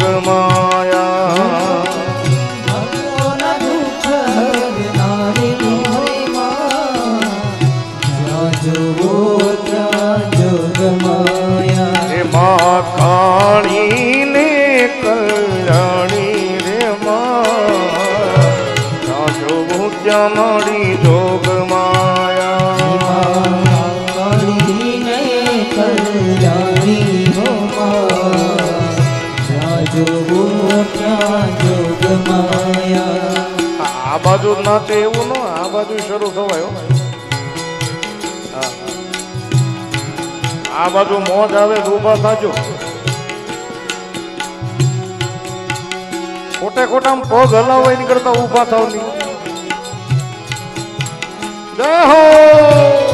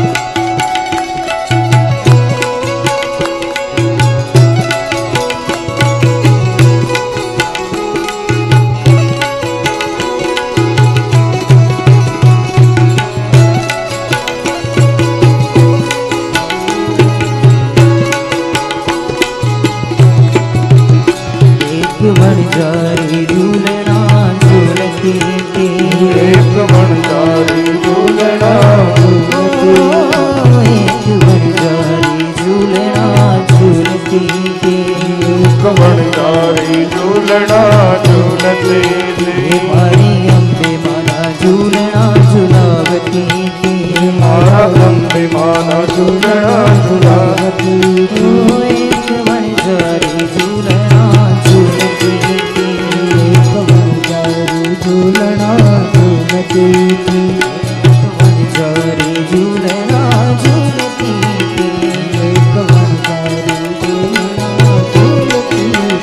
ભાઈ દિલે ભગતિએ માય દિલે ભગતિએ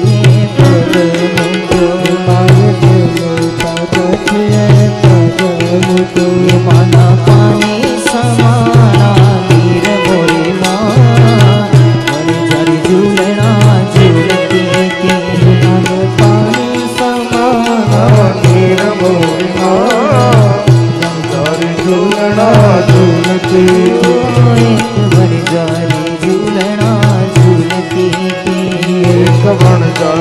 ઝૂલણા ઝૂલતી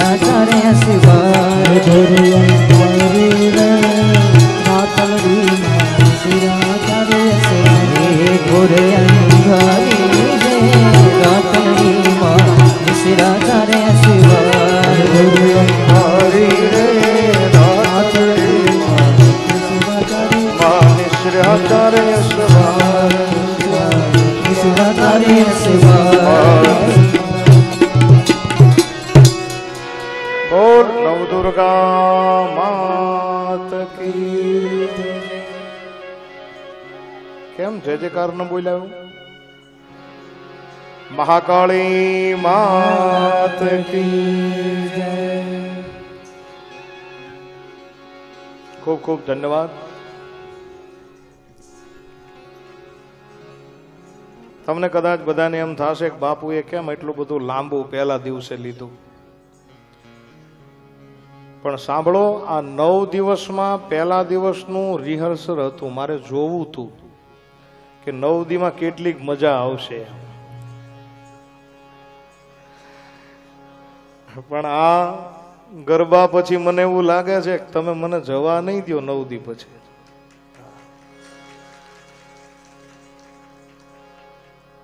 સવારે મારે રસિકભાઈ મને કહેતો હતો, મને કે બાપુ આના પછી, મેં કીધું આના પછી કાંઈ નથી. તો મને કે આપણે પંદર દીની કરીએ શરૂઆત નહોતી થઈ ત્યાં. સાહેબ, તમે જો સાધુડાના બાળકનો આવો સુંદર મજાનો ભાવ હોય કે ભાઈ મારા ગામ લાભ લઈ? તો આ વિચારને તમારે બધાને વધાવવો રહ્યું.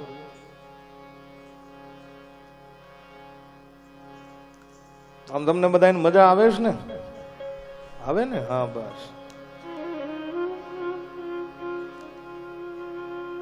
મજા જ આવવી જોઈએ સાહેબ. હું ઘણી ઘણી વાર એવું કહું, કથામાં હોય ગયા મોઢા લઈને ન આવવું પ્રસન્ન ચિત હસતા હસતા કથાને સાંભળવાની હોય છે.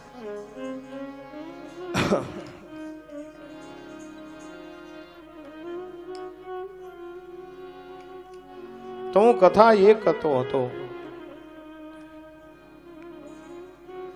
કે નવરાત્રિની અંદર આપણે ગરબા લઈએ, માતાજીની ગરબી પધરાવીએ. સમગ્ર પૃથ્વીનું પ્રતીક એ ગરબાને વચ્ચે લઈ અને આપણે જોગણ્યું, તમે જેમ હમણાં ગરબે રેમાં એમ દીકરીઓ બધી ગરબે રમતી હોય, પણ આ બધું ક્યાં સુધી? નવ દિવસ સુધી. નોરતા જાય એટલે પછી પૂરું, પછી પાછી બીજી નવરાત્રી ફોટા લૂંચતા હોય. આ મારી તમારી શ્રદ્ધા છે બા.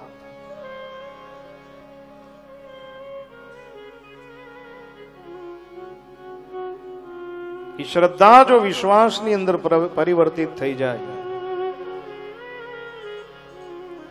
તો કામ બને. અને વિશ્વાસ એટલે કાંઈ બહુ આમ અઘરો શબ્દ નથી. વિશ્વાસ એટલે ભરોસો ભરોસો.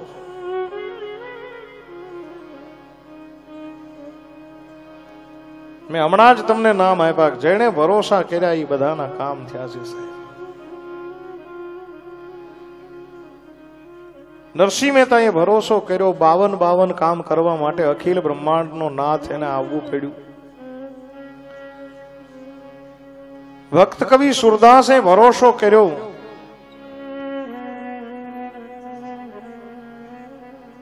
ઠાકુરજીને આવવું પડ્યું છે.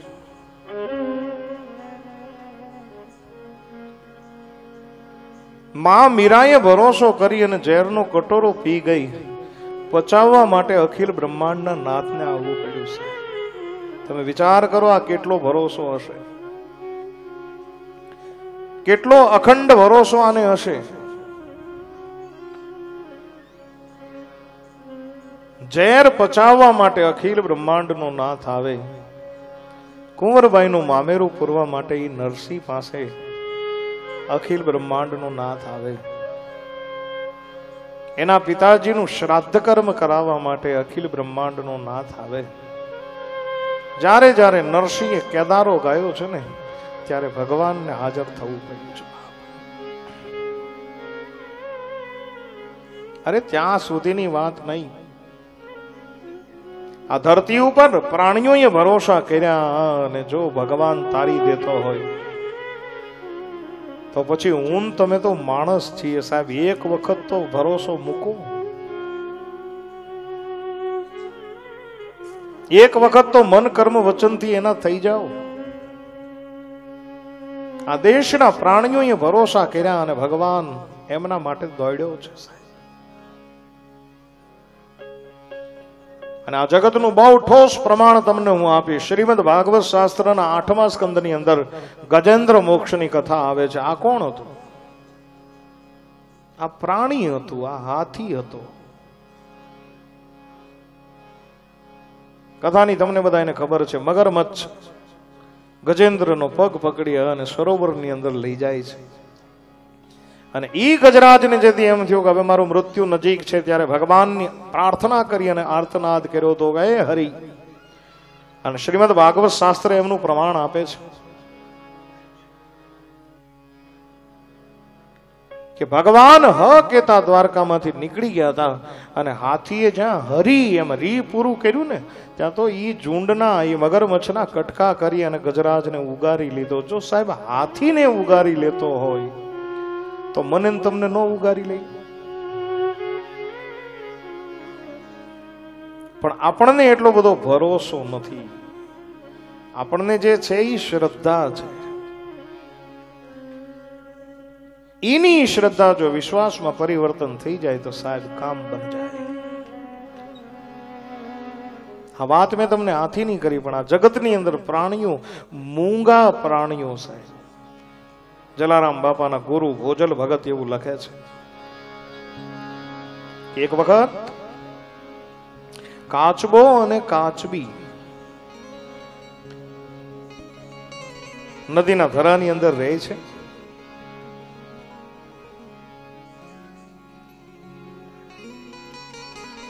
કાચબો છે એ ભગવાનનો ભગત છે. કાચબી બધું જોયા કરે, કાચબાને પૂછે, તું કોનું ભજન કર? બોલે, અખિલ બ્રહ્માંડના નાથનું ભજન કરું છું. બોલે, કયો ભગવાન? કેવો ભગવાન?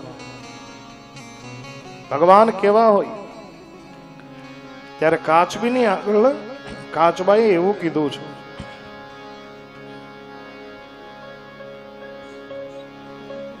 એ કાચબી, એ તો આપણે આ નદાના નદીના તરાની અંદર રહીએ છીએ ને, એટલે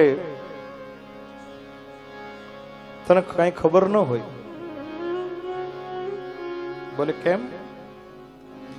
બોલે આપણે નદીના ધરાની અંદર રહીએ છીએ એટલે તને માછલાની ખબર હોય, વધીને તને જળની વનસ્પતિની ખબર હોય. પણ આપણો જે ભગવાન છે ને, હું જે ભગવાનનું ભજન કરું છું ને એણે તો આખી આ દુનિયા બનાવી છે. એ તો આપણે રહીએ છીએ સીમિત એટલે તને કઈ ખબર ન હોય. બોલે, એમ? શું બનાવ્યું? બોલે, ભગવાને માણસો બનાવ્યા છે, ભગવાને પ્રકૃતિ બનાવી છે, ભગવાને નદીઓ બનાવ્યા છે, ભગવાને કોતરો બનાવ્યા છે. ત્યારે કાચબીએ કીધું તો કાચબા એક કામ કરીને, હાલને આપણે આ દર્શન કરવા માટે જઈ તારા ભગવાને દુનિયા કેવી બનાવી છે? ચાલ આપણે જોઈએ.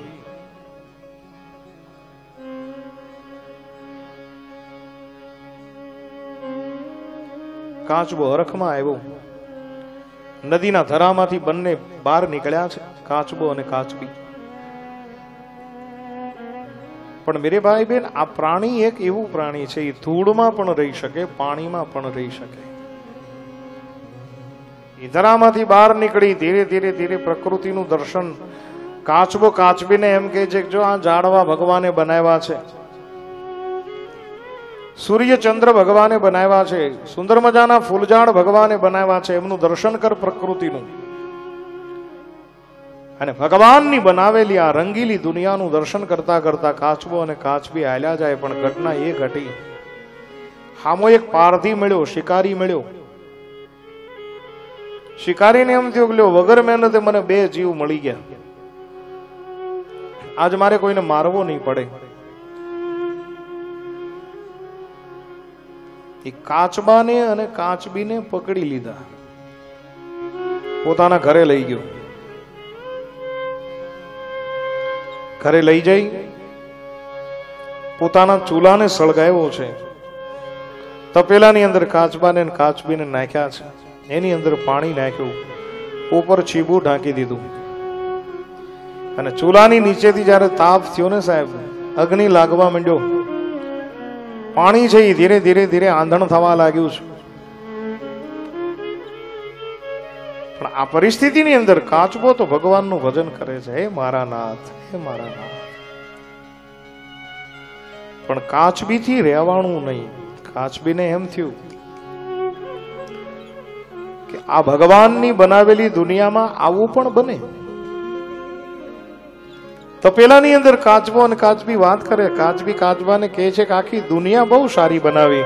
પણ હે કાચબા, તારા ભગવાને આ બે પગ વાળું પ્રાણી ક્યાંક વિચિત્ર બનાવ્યું છે.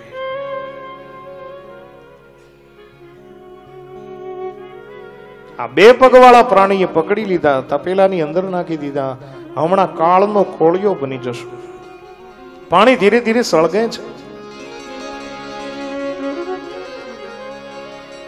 એ કાચમાં હવે તું જવાબ દે, તારો ભગવાન હોય તો અહીંયા ઉગારવા આવે, બાકી મને જ એવું લાગતું નથી તારો ભગવાન અહીં ક્યાંય હોય.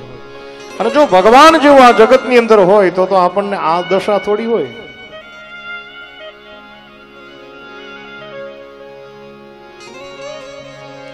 ભગવાન જો હોય તો ભગવાન આવી દશામાં રાખે.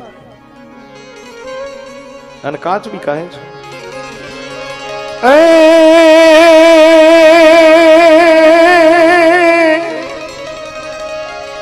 કાચ બી કે છે, કોણ ઉગારે તારો જાતો રહો જગદીશ.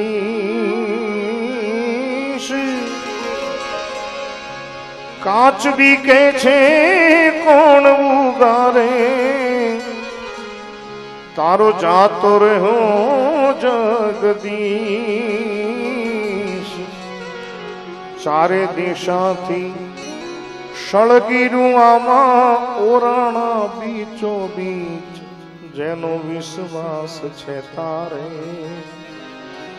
એનો નહીં એતબાર મારે. જેનો વિશ્વાસ છે તારે.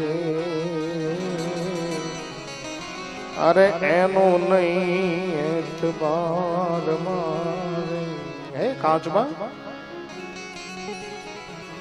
તું કદાચ અખંડ ભરોસાથી વજન કરતો હોઈશ. પણ મને નથી લાગતું અને જો હોય તો ભગવાનને જરૂર આવવું પડે. અને હું ઘણી ઘણી વાર એવું કહું કે ભગવાનના ભક્તોને જ સહન કરવાનું આપ્યું છે. તમે જો દુનિયાના જેટલા ભક્ત આખી ભક્તમાળ લઈ લો આ ભક્તોને ભગવાને બહુ સહન કરાવ્યું છે અને એટલા માટે હું ક્યારેક ક્યારેક એવું કહેતો હોઉં કે जिसके होठों पे हंसी पावों में छाले होंगे जिसके होठों पे हंसी पावों में छाले होंगे है मेरे मालिक वो ही तेरे चाहने वाले होंगे જેના હોઠો ઉપર મુસ્કાન હોય पैरों की નીચે છાલે હો ભક્તોને બહુ સહન કરવું પડ્યું છે સાહેબ કાચબો આજ ગરમ પાણીને એ આંધણને સહન કરે છે અને સ્ત્રી જાતને બહુ સહન શક્તિ ન હોય જેટલી પુરુષને હોય એટલે કાચબી જેમ શબ્દ આવે એ રીતે બોલવા લાગી છે તારો ઈશ્વર મને નથી લાગતો. ત્યારે કાચબાએ બહુ સુંદર મજાનો જવાબ આપ્યો કે, કાચબી, તને દાહ લાગે છે? બોલે, હા. તો એક કામ કર, તપેલાની અંદર હું નીચે આવી જાઉં, તું મારા ઉપર આવી જા, જેથી કરી અને તને દાહ ન લાગે, તને અગ્નિ ન લાગે, એમ ભોજલ રામ લખે છે. એ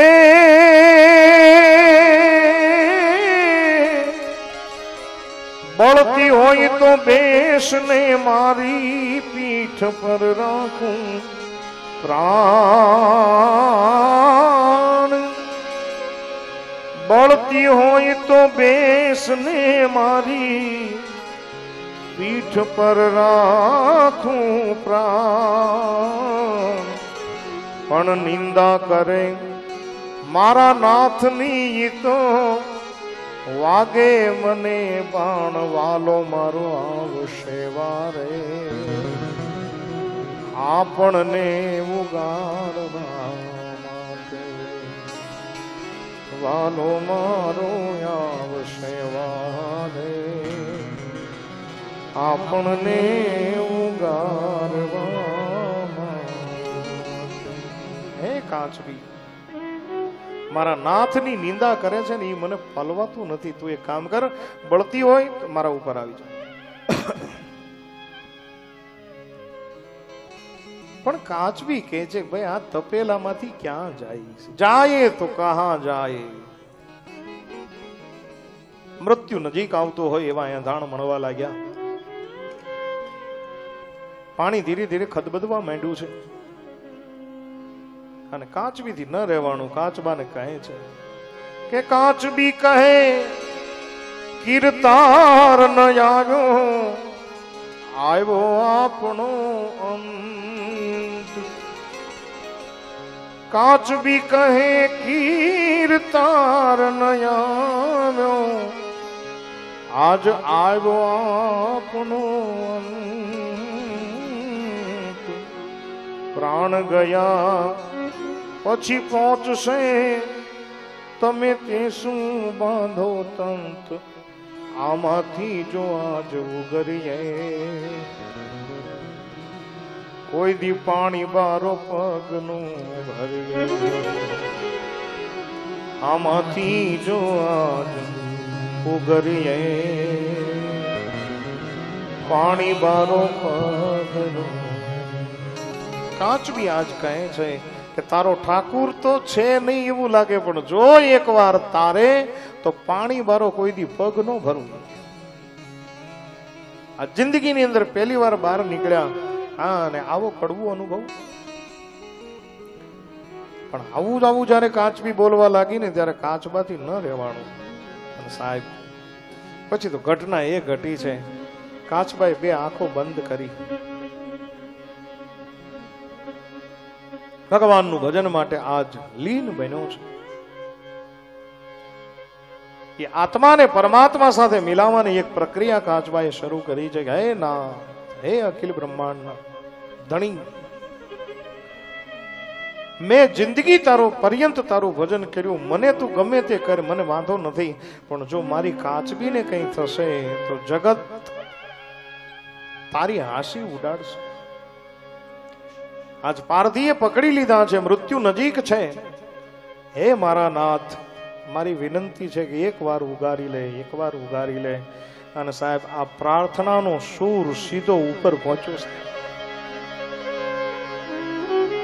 ભગવાને મેઘને આજ્ઞા કરી કે જે જગ્યાએ પારધીનું ઘર છે ગગનમંડળ ઉપર એટલા બધા વર્ષો કે મારો કાચબો અને મારી કાચબી બચી જવા જોઈએ. અને સાહેબ, ઘટના એ ઘટી કાળા ઉનાળાની અંદર, નિર્મલ ગગનની અંદર વાદળાની એક ખોદી જામી છે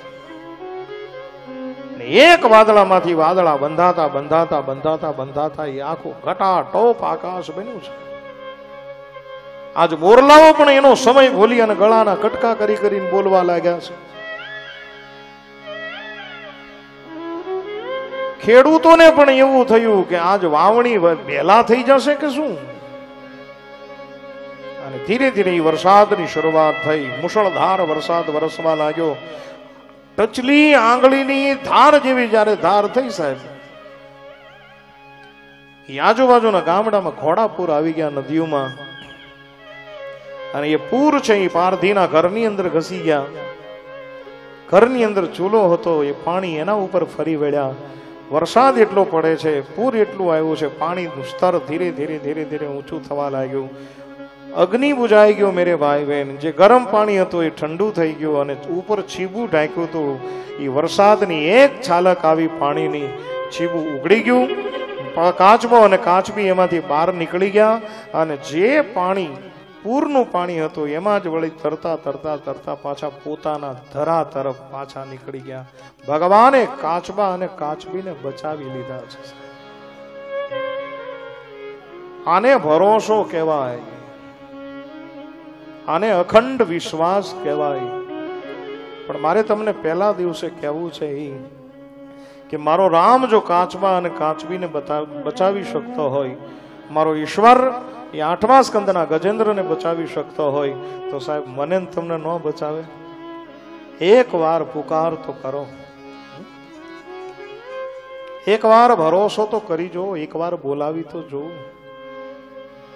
ભગવાન તો બેઠો જ છે કે ક્યારે મારો ભક્ત યાદ કરે અને ક્યારે મેં વહાં પે પહોંચ જાઉં લેકિન શરૂઆત આપણે કરવી રહી અને એટલા માટે આપણો ભક્ત કવિ સુરદાસ કહે છે ભરોસો દ્રઢઈન ચરણ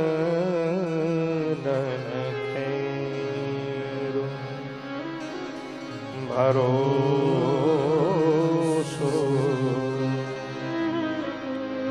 दृढैन चरण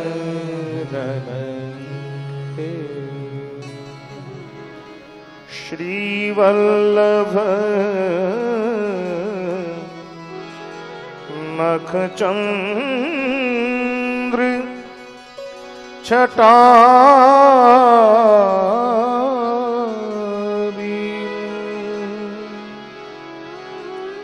શ્રીવલ્લભ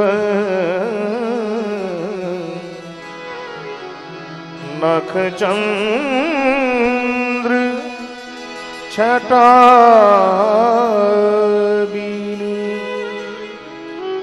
જાશુ હોય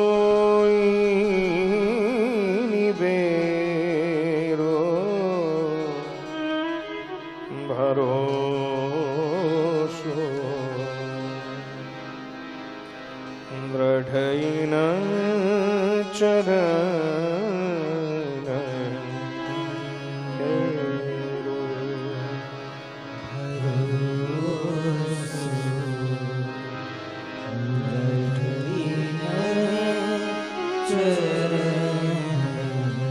सुरदास जी कहे थे कि उस पैरों पे मुझे भरोसा है।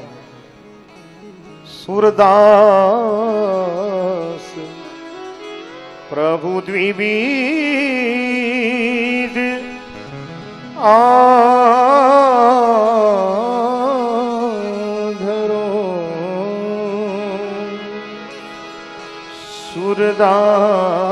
સુરદાસ પ્રભુ દ્વિવિધ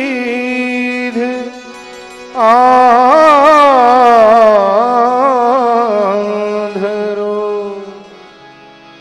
વિનામોર বিনা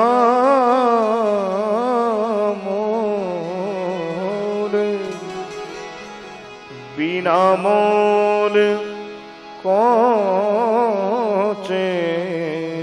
রো ধরো দৃঢ় বিন চরণ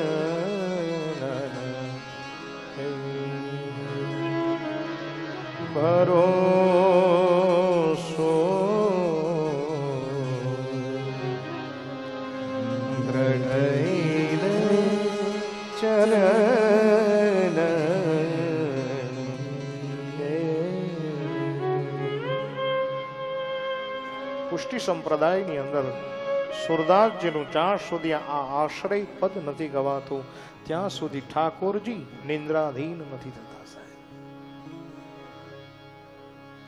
આશ્રય. બસ તારા ભરોસે. જીવન નૈયા હાકી રહો મહારાજ.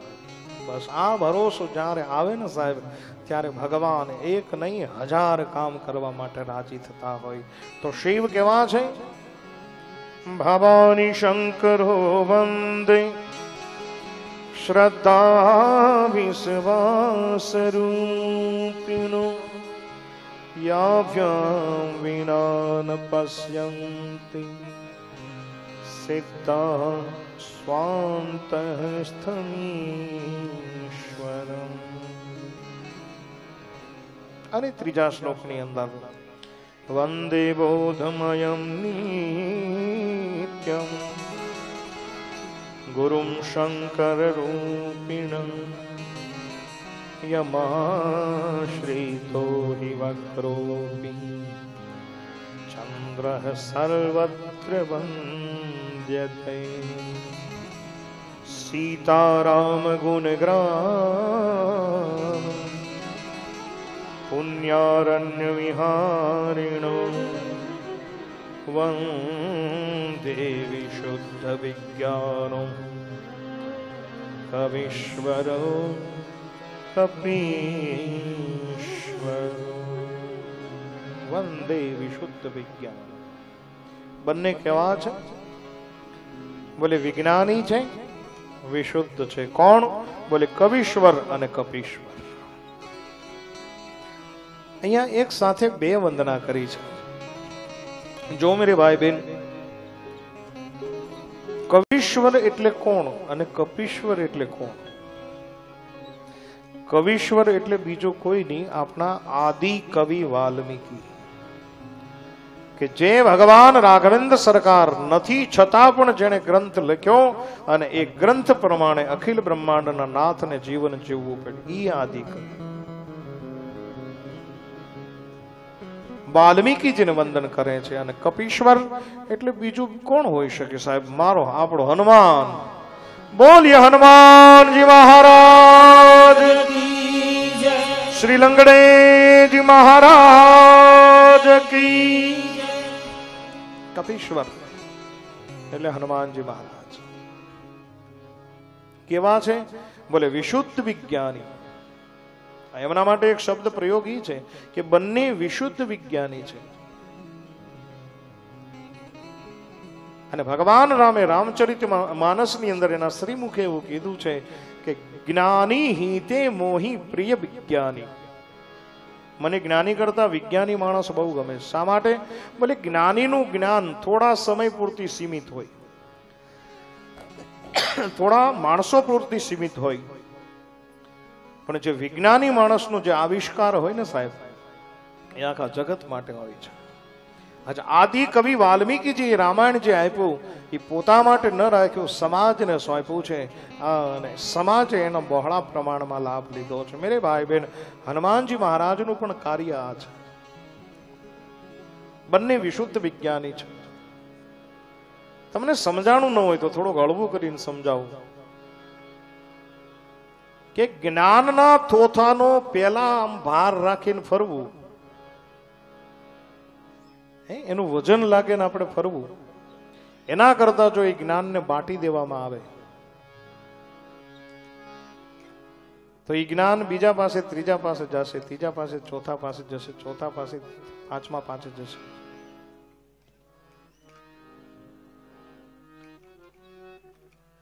આ વિજ્ઞાની માણસો એ જ કરે છે ને. વિજ્ઞાની માણસે એક સાયકલ બનાવી દે એની પાસે ન રાખી, એને સમાજને દીધી છે. ઘણા ઘણા લોકો એને એને ચલાવી અને પોતાની યાત્રાઓ પૂર્ણ કરે છે. આપણા રાઈડ બંધુએ વિમાન આપ્યા, તો વિમાન એમની પાસે ન રાખ્યા. એ વિમાન સમાજને સોંપ્યા છે. ઘણા બધા લોકો લાંબી દૂરીની યાત્રા પૂર્ણ કરી અને પોતાના કામકાજમાં પહોંચે છે. કોઈ પણ વેદ એની દવા બનાવે, તો એ દવા પોતાની પાસે નથી રાખતા.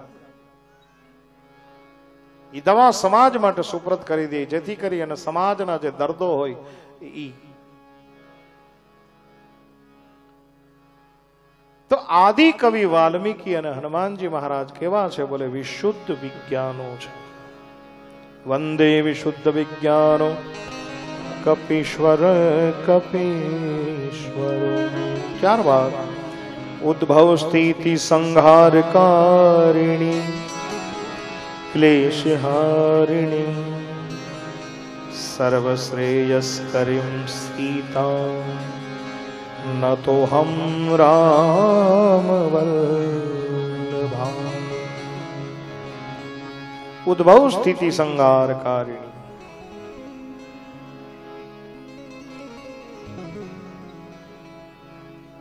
તુલસીદાસજી મહારાજે એક શબ્દ પ્રયોગ આપ્યો છે ક્લેશ હારિણી સીતા કેવા છે ઝઘડાને જડ મૂળમાંથી મટાડનાર છે જગતની ઉત્પત્તિ, સ્થિતિ અને લય જેનું કારણ બને છે. આ આદિશક્તિ. જે ક્લેશને હરણ કરે છે સ્વામીજી કહે છે સર્વશ્રેયસ કરીમ સીતા સર્વ રીતે બધાનું જગત, આખાનું કલ્યાણ કરનારી એ રામ વલ્લભાને મારા વંદન છે. ત્યારબાદ ગોસ્વામીજી કહે છે કે રામ જે છે ઈ સ્વયં હરિ છે. રામાખ્યમીશમ હરિ. આમ કહ્યા અને મેરે ભાઈ બહેન છેલ્લે ગોસ્વામીજી એવું કહે છે કે આ કથા મેં કઈ રીતે તૈયાર કરી? નાના પુરાણ નિગમાગમ સંમત. રામાયણે નિગદિતમ ક્વચિદન્યતોપી. સ્વાંત સુખાય તુલસી રઘુનાથ ગાથા ભાષા નિબદ્ધમતિ મંજુલ માતનો સ્વામીજી કહે છે કે આમાં મારી બડાઈ નથી બોલે તો બોલે, નાના પુરાણ નિગમાગમ સંમત યદ. અનેક પ્રકારે શાસ્ત્રો પુરાણોનો અભિપ્રાય લઈ એ શાસ્ત્રોનો અર્ક કાઢી અને એક નિચોડ રામચરિત માનસ સ્વરૂપે અમે બનાવ્યું. બોલે, શા માટે બનાવ્યું? બોલે, સ્વાંત સુખાય.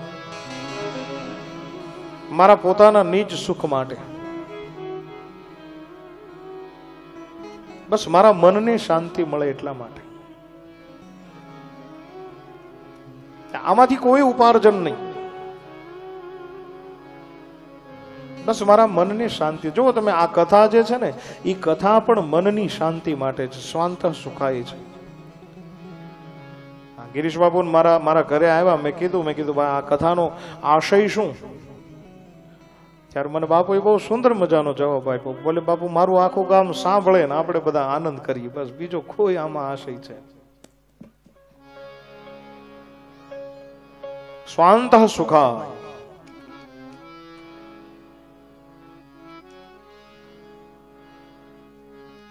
આપણે જે કામ કરીએ ને, એનું એનું બસ સ્વાંત સુખાય હોવું જોઈએ.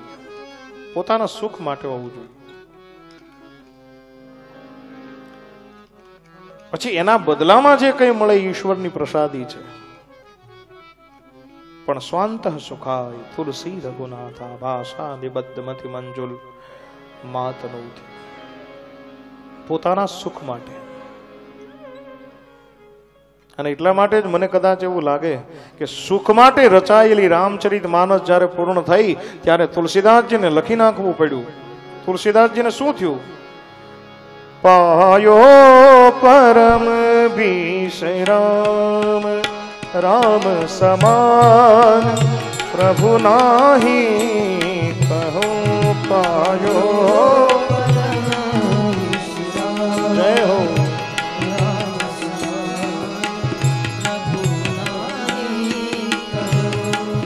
जाकी कृपालवलेसते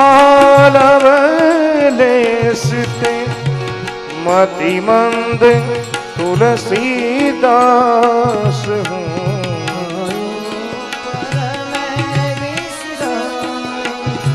राम समान प्रभु नाही कहो पायो परम विश्राम राम समान। प्रभु नाही कहो पायो परम। विश्राम राम समान। प्रभु नाही प्रभु नाही। प्रभु नाही।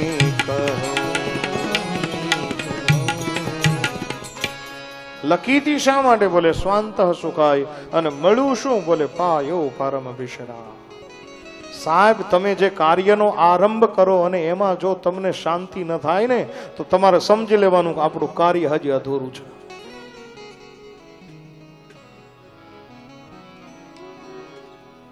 તમે જે જે કાર્ય કરો સાહેબ, એનો ઓડકાર આવવો જોઈએ.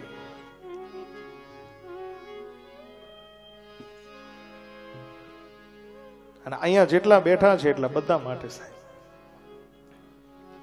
તમારો બધો ખેતીવાડીનો ધંધો છે અને તમે સાહેબ આખો દિવસ હળ લઈ અને તમે ખેતીવાડીએ ગયા હો.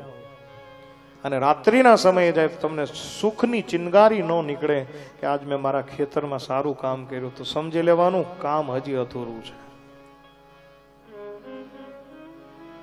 તમે અહીંયા કથાનું સાંભળવા માટે આવ્યા છો. હા, અને ઘરે જઈ અને તમને ઓડકાર ન આવે કે આજ અમે બહુ તૃપ્ત થયા. સમજી લેવાનું કે આપણા કાનની અંદર મેલ ભરાણો છે સાહેબ. મારી ખુદની વાત કરું કે હું અહીંથી વ્યાસપીઠ ઉપરથી ઉતરી અને સાહેબ મને છેક સુખની નીંદર ન આવે ને તો મારે સમજી લેવું પડે કે આજ મેં મારા શ્રોતાઓને કંઈક થોડાક અધૂરા રાખ્યા છે ઓડકાર આવવો જોઈએ. હા, આપણને ઓટકાર આવે, કોકની નિંદા કૂથલી કરી. આપણને ઓટકાર આવી જાય. એક માણસ સાયકલ લઈને જતો હોય ને પડી જાય તો આપણને દાંત બહુ આવે. ઈ જ્યાં સુધી થાય ને ત્યારે સમજી લેવાનું કે હજી ભગવાને આપણને પરિપૂર્ણ નથી બનાવ્યા સાહેબ.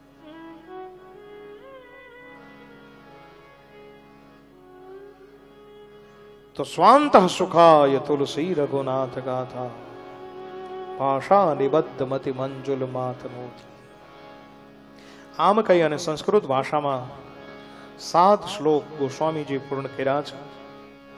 અને હવે અહીંથી શુદ્ધ હિન્દીમાં. મને તમને સમજાય એવી ભાષામાં સંસ્કૃત તો ઘણા ઘણા એમ કહે છે કે સંસ્કૃત ઇઝ બેડ લેંગ્વેજ પણ મારી વ્યાસપીઠ એમ કહે છે કે સંસ્કૃત તો દેવગીરા છે સાહેબ. આપણે શીખવી નથી એટલા માટે. બાકી તમે જો આ વિદ્વાનો બેઠા છો, એમના પાછી તમે સંસ્કૃત સાંભળો. જેમ નદીની એક ધારા હાલી જાતી હોય સાહેબ, પ્રવાહ ચાલ્યો જતો હોય. આપણે તો હું પાપા પાગલી કરીએ છીએ. પણ ગોસ્વામીજીએ એ સમયની અંદર એવું કીધું કે સંસ્કૃત તો ઠીક છે, પણ મારે જો મારી રામકથાને ઘર ઘર સુધી પહોંચાડવી હોય, દેશ દેશ સુધી પહોંચાડવી હોય, જન જન સુધી પહોંચાડવી હોય, તો લોકોની જે ભાષા છે એ ભાષામાં મારે સમજાવવું પડે. હે, હવે અમે અહીંથી સંસ્કૃત જ બોલ્યા કરીએ, સંસ્કૃત જ બોલ્યા કરીએ, તો તમને સમજણ પડે? કથાની એક ઊંચાઈ હોય સાહેબ. અને જેવો જેવો સમુદાય મળે ને એવી એવી કથા ચાલે. પછી હોય ગામડાનો માહોલ અને આપણે અહીંયા આધ્યાત્મની વાતો કરીએ, તો મને ન મજા આવે ને તમને ન મજા આવે.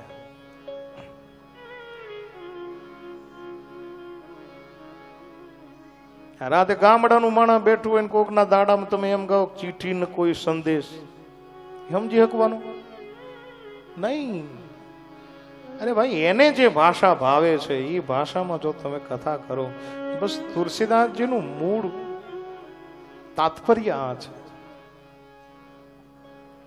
એટલે હાવ હિન્દી, અવધી ભાષા. શાસ્ત્રકારો આને હિન્દી ખડી બોલી કહે છે.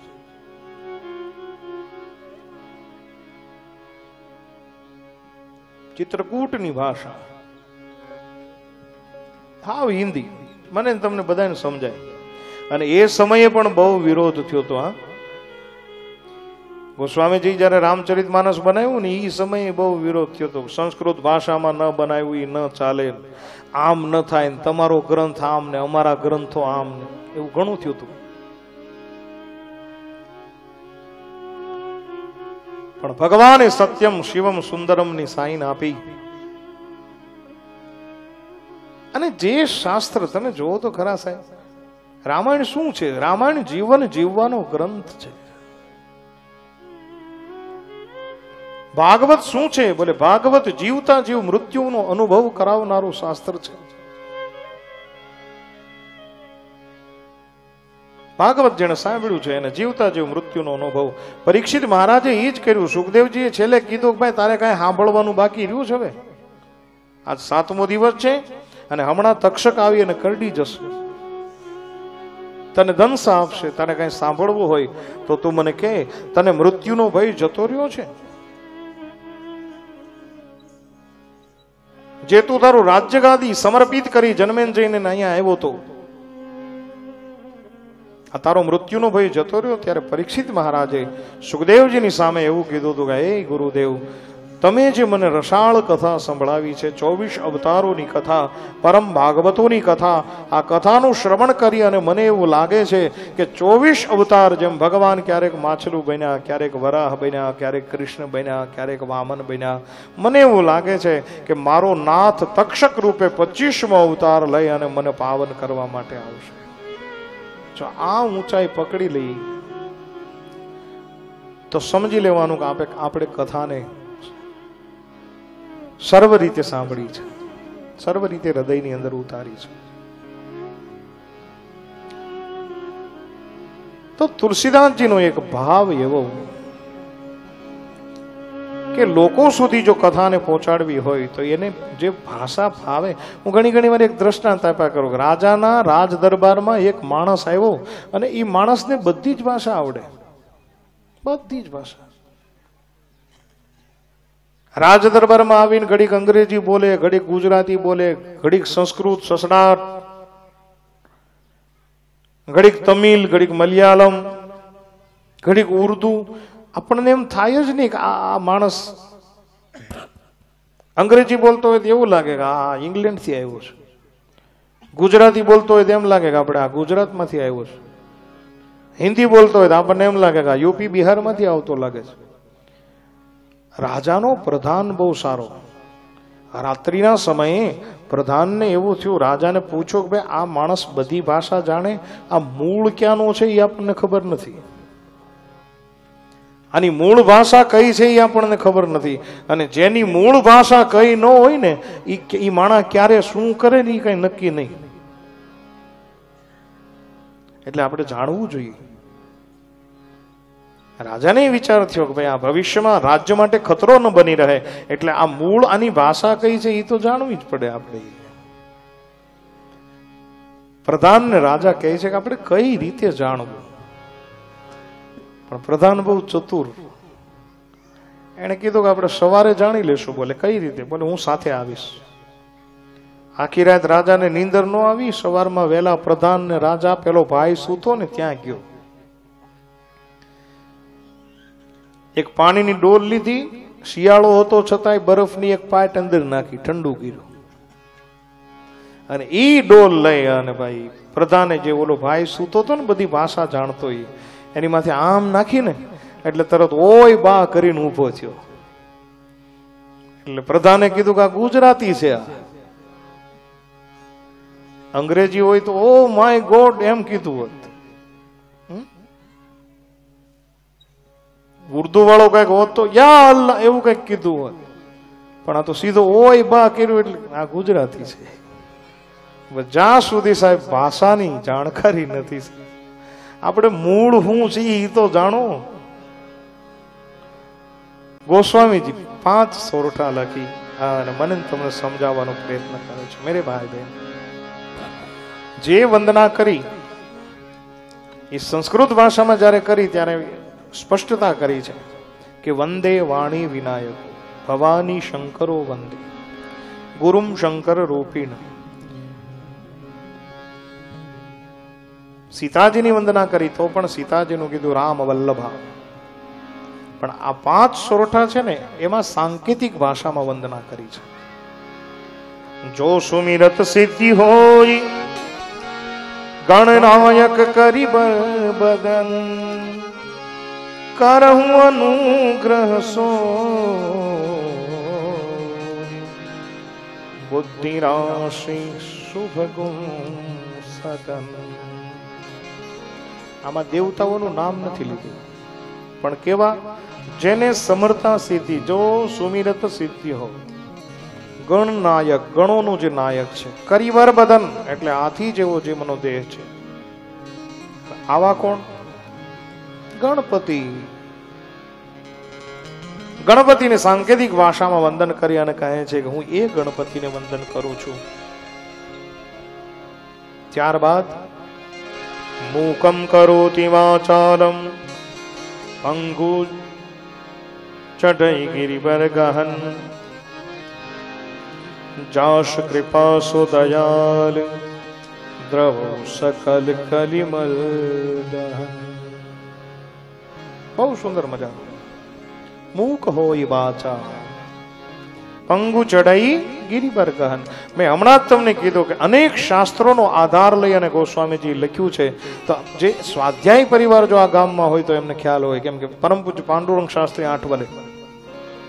એમણે આ શ્લોકને આખી ધરતી ઉપર ઉજાગર કર્યો છે. મૂકમ કરોતિ વાચારમ ગિરિ. યત કૃપાતમહં વંદે. પરમાનંદન આ શ્લોક એનું બેઠું ટ્રાન્સલેશન ગોસ્વામીજી આપણા રામાયણની અંદર કર્યું છે. મૂકમ કરોતિ વાચાલમ ગોસ્વામીજી કહે છે, મૂક હોય વાચાલ. પંગુમ લંગઈ તે ગિરી. ગોસ્વામીજી લખ્યું કે પંગુ ચડાઈ ગિરી પર ગહન સેમ સેમ. જેમની કૃપાથી લંગડો પર્વત ઓળંગી જાય, જેમની કૃપાથી મૂંગો બોલતો થઈ જાય. એવા હે દેવ, મારા તમને વંદન છે. માલો ઈ દેવને ઘડીક આપણે સાઈડ ઉપર રાખ. પણ કથા સાંભળતા સાંભળતા મૂંગો બોલતો થઈ જાય. લંગડો છે એ પર્વત ઓળંગી જાય. આપણને પ્રશ્ન થાય આપણને. ભગવાન તો સર્વસમર્થ છે, થઈ શકે. પણ મારી વ્યાસપીઠ એવું કહે છે કે લંગડો પર્વત ઓળંગી ગયો એ ખરા અર્થમાં ક્યારે સાર્થક થાય? મૂંગો બોલતો થઈ જાય એટલે શું? મૂંગો બોલતો થઈ જવો એટલે?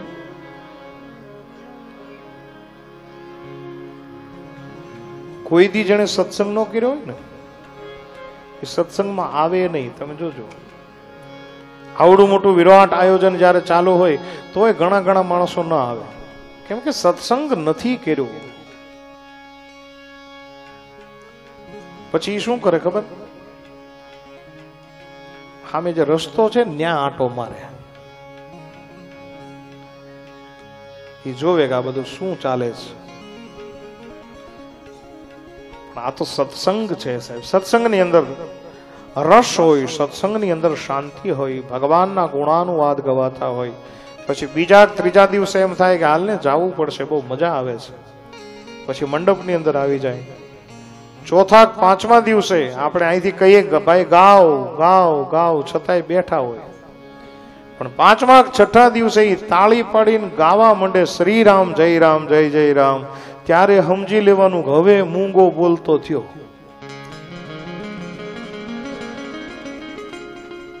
હા, બસ એવી જ રીતે લંગડો પર્વત ઓળંગી જાય, એટલે શું?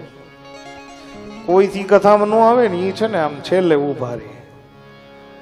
પછી બીજો દિવસ ને, ત્રીજો દિવસ ને, ચોથો દિવસ ને, રામ જન્મ થાય. બધું જોતા જોતા એને રંગ લાગે. અને ચોથા દિવસે ભગવાનનો જન્મ થાય પછી કીધા વગરનો નાચવા માંડે ને ત્યારે સમજી લેવાનું કે હવે લંગડો પર્વત ઓળંગી ગયો.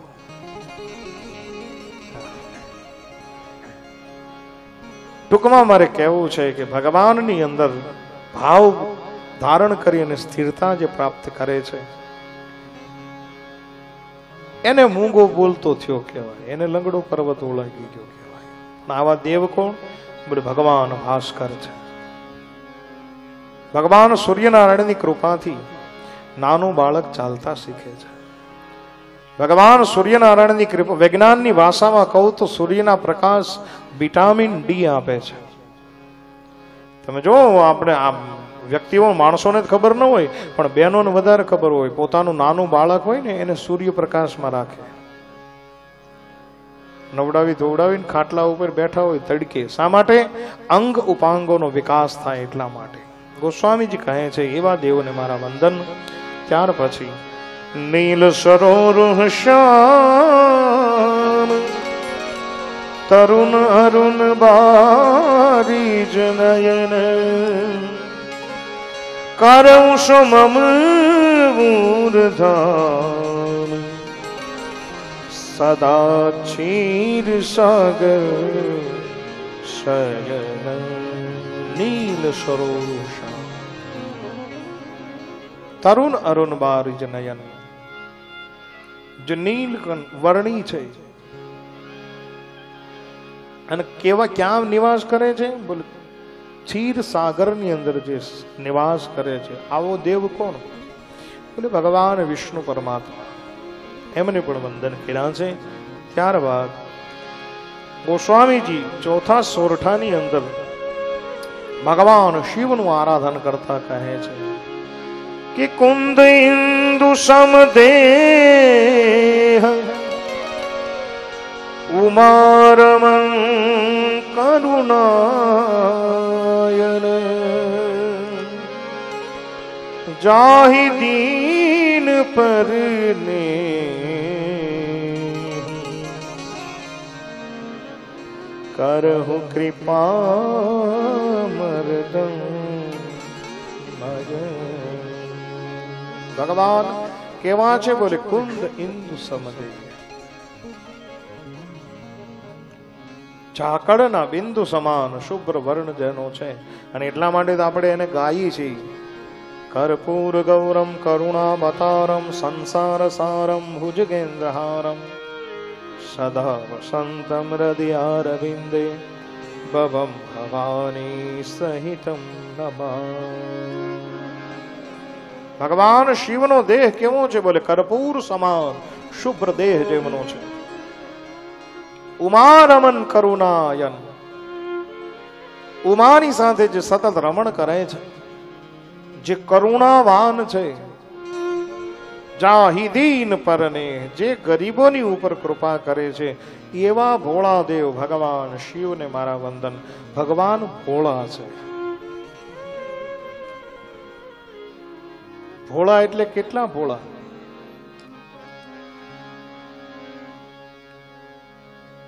કોઈ પણ ભક્ત એના સ્વાર્થ માટે પણ જો કંઈ માંગતો હોય, તો પણ વગર વિચારે આપી દે. આવો ભોળો દેવ. ભસ્માસુરને કડું આપી દીધું હતું ભગવાન. પછી ખબર પડી કે આ તો આખી ધરતી રસાતાળમાં ધસી જશે. પણ મારો કહેવાનો મૂળ સુર કે વિચાર ન કરે. આજે લંકા છે ને લંકા. એ મૂળ તો ભગવાન શિવનો બંગલો હતો. પણ રાવણ હોશિયાર એટલો બધો નીકળ્યો ને, વાસ્તુ પૂજન કરાવવા માટે ગયો તો બંગલો જ માંગી લીધો. આ જેના ઘેરે વાસ્તુ હોય ને, પછી બ્રહ્મદેવતા જે માંગે એ રીતે ખુશ કરવા પડે. કથા તો બહુ મોટી છે, પણ મારે સમય પૂર્ણ થવા આવ્યો છે. લક્ષ્મીજીનું વૈકુંઠ જોઈ, બ્રહ્માજીનું બ્રહ્મલોક જોઈ, હા, અને પાર્વતીજી શિવજીને કીધું કે આપણે શમશાનમાં જ રહેવાનું.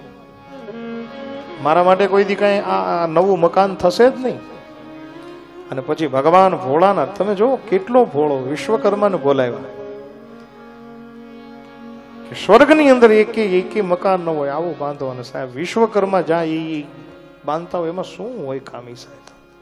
બન બાગ ઉપ બન બાટિકા સર કૂપ બાપી સોહી નર નાગ સુર ગંધર્વ કન્યા. રૂપ મુનિ આ લંકાનું વર્ણન છે સાહેબ. આવો સુંદર મજાનું એ મકાન બનાવ્યું ને વાસ્તુ લીધું પછી ભગવાન ભોળાનાથને કીધું કે હવે હું માંગુ એ તમારે આપવું પડે બોલે, હા, માંગી લો, ભૂદેવ. ત્યારે કીધું કે આ મને બંગલો જ બને. જેના માટે સાહેબ બનાવેલું, વગર વિચારે કીધું જાવા દો લઈ જાઓ બા.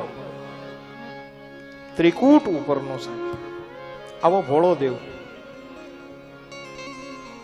ચોર ચોરી કરવા ગયો? આખા ગામમાં કઈ જડ્યું નહીં. ચોરને એમ થયું કે કોના સુકન પકવી નીકળ્યો? આખી રાત ફેર્યો મારા ઘરે આમ કોઈના બધા જાગતા હોય. કોનું સુકન પકવી નીકળ્યો છું પણ વહેલી સવાર થઈ ગઈ અને હવે કે કોઈના ઘરે જવાય નહીં. કોકના ઘરે જઈને જાગી ગયા હોય કંઈક બીજું મળે. ચોરીનો માલ ન મળે. હવે શું કરવું? નિરાશ થઈ અને ચોર જાતો હતો. રસ્તાની અંદર એક મંદિર મળ્યું. ચોરને એવું કાંઈ ન હોય કે આ મંદિર છે શું છે. જાય અંદર ગયો, ત્યાં પાછો નિરાશ થઈ ગયો કે ભાઈ કંઈક ભોળાનાથનું મંદિર હતું. ભોળાનાથમાં શું હોય સાહેબ? ભગવાન શિવનું બાણ હોય, તાંબાનું નાગ હોય, ગલતી હોય. સીતારામનું મંદિર હોય તો કંઈક માતાજીએ સોનાના કંઈક ઘરેણા પહેર્યા હોય. પણ ભગવાન ભોળાનાથનું મંદિર જોઈ અને ચોર નિરાશ. પણ મને એવું લાગે આશાવાદી હશે આ. ગલતી જોઈને એમ થયું કે ગલતી ઉપાડતો જાવ એનું જે કાંઈ મળશે ને, આજનો દિવસ સુધરી જાય. બે ત્રણ ઠેકડા માર્યા પણ કાંઈ પહોંચી ન શક્યો. અને ચોરને એમ કે ભાઈ, હવે હાલે કોઈ જોતું તો નથી એટલે શિવલિંગ ઉપર ચડી જાઓ. અને પછી મને એ પાત્ર મળી જાય. તાંબાનું પાત્ર છે, હું વેચીશ, થોડું ઘણું આવશે ધન. મારો દિવસ સુધરી જશે, મારી રાત સુધરી જશે. અને જ્યાં એ ચોર શિવના, એ શિવલિંગ માથે, શિવના બાણ માથે ચડ્યો, પણ જ્યાં ચડ્યો, ત્યાં તો ધુમાડાના ગોટે ગોટા નીકળવા મીડા ને ઝાલર ને નગારા ને ડમરું ને ધાબ બોલી.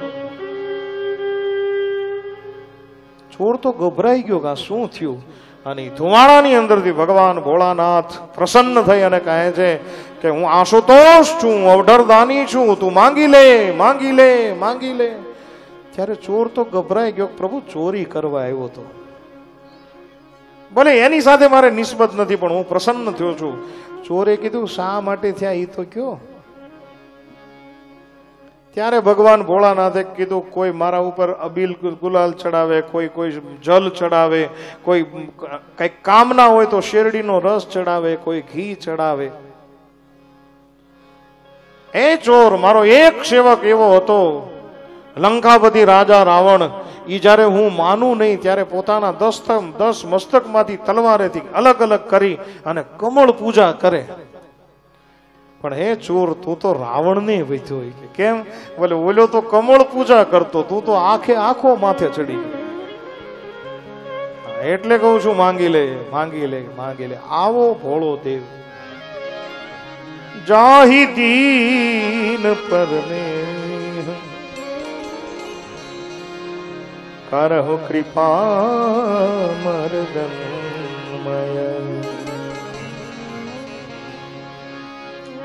હે ભગવાન ભોળાનાથ, મારા ઉપર કૃપા કરજો. ક્યાં સુધીની કથાને મેરે ભાઈ બહેન રાખું? આપણે રોજ ત્રણથી છ વાગ્યાનો સમય છે. સવારે નવથી સાડા અગિયાર વાગ્યાનો સમય છે. આજે બપોરે જ્યારે હું આવ્યો ત્યારે થોડુંક મને પહેલું લાગ્યું, પણ જો તમારી જ કથા છે અને તમે બધા વહેલા આવી જાઓ, તો બપોરે બાર. જય હો. નવથી બાર અને બપોર પછી ત્રણથી છ. આ રીતે આપણું સેશન ચાલશે એટલે બધા જ લોકો ખૂબ ઝડપથી કથાની અંદર આવી જાય. તો વધારે મજા આવશે. અને એવું પણ નથી કે તમે આવો તો જ કથા થાય. અમે તો હનુમાનજી મહારાજને કથા સંભળાવતા હોઈએ. પણ સામા માણસો હોય તો એમનો એક આનંદ વધારે હોય. એટલા માટે મેરે ભાઈ બહેન, ફરી એકવાર દાણીધારિયા પરિવાર દ્વારા કામ સમસ્ત જે આયોજન થયું છે કે આયોજન પ્રથમ દિવસે સમાપનના આરે છે આ અને હવે આઠ દિવસ આપણા ખૂબ સુંદર મજાના જાય અને અહીંયા બધી જ વ્યવસ્થા છે સાહેબ. ભજન અને ભોજનનો સંગમ છે. આ ગામે ખુદ ખૂબ સાથ સહકાર આપ્યો છે. નવ દિવસમાં આપતા રહેશે એવી આશા સાથે આપણે બધાને તમારે કાંઈ બીજું કામ તો કરવાનું નથી. એ વહેલી સવારે આવી જાઓ ને બપોરે ભોજન લ્યો ને વળી પાછા સત્સંગ કરો ને વળી પાછા સાંજના સમયે ભોજન લ્યો ને આવું બધું નવ દિવસ સુધી અને નવ દિવસનું આ હામે હાલીને ગંગા આવી છે. તો આમાં નાઈ લેવાય. પેલું તો તમારે ખર્ચો કરવો પડે, સમય બરબાદ કરવો પડે. એમાંય તમને શરદી થઈ હોય તો ગંગાજીમાં નાયા નાતા પણ નથી. હમણાં હું જો કાલે જ પૂરી કરીને આવ્યો.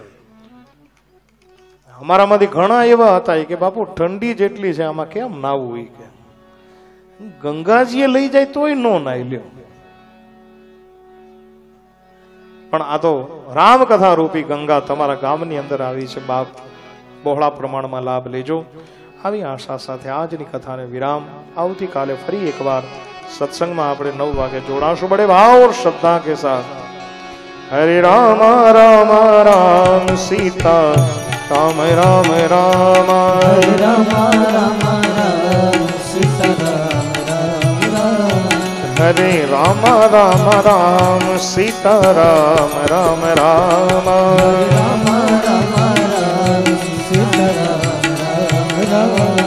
હરે રામ રામ રામ સીતા રામ રામ રામ રામ રામ.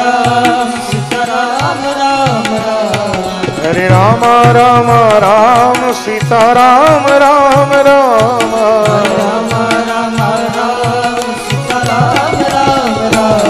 હરે રામ રામ રામ સીતા રામ રામ. રામ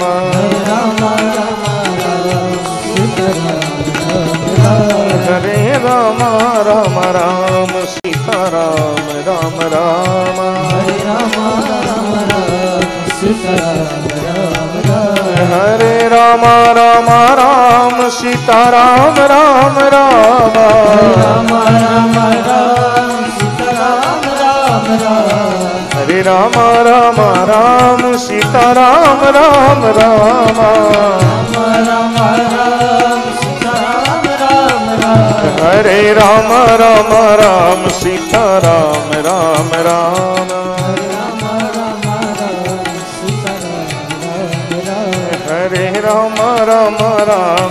સીતારામ રામ રામ સીતારામ રામ રામ સીતારામ રામ રામ સીતારામ રામ રામ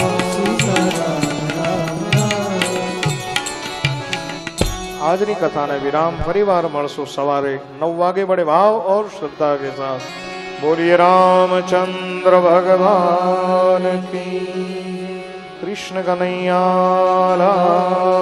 કી શ્રી હનુમાનજી મહારાજ કી સદગુરુ ભગવાન કી શ્રીનાથજી દાદાની ઓ નમઃ पार्वती पतये हर हर महादेव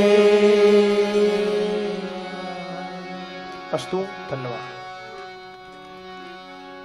સંધાક્ષત પુષ્પમ ગૃહીત્વા હાથની અંદર પુષ્પ ચોખા રાખી ભગવાન વાંગમય વાણીમય સ્વરૂપનું સ્મરણ કરી એમને વંદન કરીએ હરિ ઓમ મમ સાનંદમાનંદ વને વસંતમ આનંદ કંદમ હત પાપ વૃંદમ શ્રી દ્વારકાનાથ મમ નાથ નાથમ શ્રી દ્વારકેશમ શરણમ પ્રપદ્યે ઓમ ભૂર્ભુવસ્વ વાણીમય સ્વરૂપાય નમો નમઃ વાંગમય સ્વરૂપાય નમો નમઃ સર્વોપચારાર્થે ગંધાક્ષત પુષ્પાણીમ સમર્પયામી નમસ્કરોમિ ત્યાં પોથીજીની ઉપર પધરાવી દઈએ પોથીજીને ચાંદલો ચોખા પુષ્પ મમ સહસ્ત્ર શીરેખા પુરુખ સહસ્રાક્ષ સહસ્રપાત સભૂમિગું સર્વતસ્મૃત્વા ત્વતિષ્ઠદશાંગુલમ પુરુખ એવેદગું સર્વં જદભૂતમ જશ્ચ ભાવ્યમ ઉતામૃતત્વશેષાનો જદન્નેનાતિરોહતિ એતાવાનસ્ય મહિમાતો જ્યાયાંશ્ચ પૂરુખઃ પાદુષ્ય વિશ્વા ભૂતાણિ ત્રિપાદસ્યામૃતં દિવિ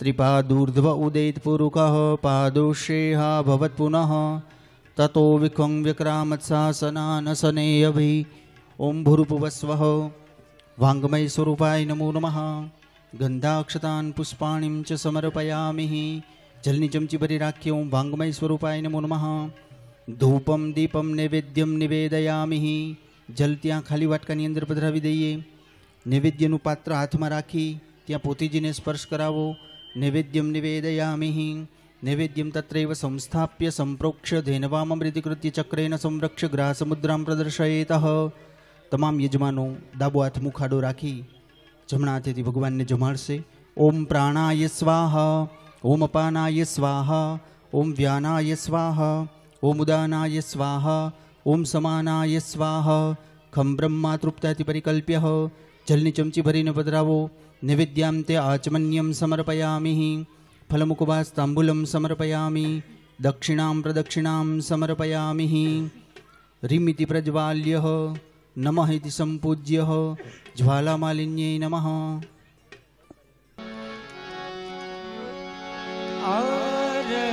श्री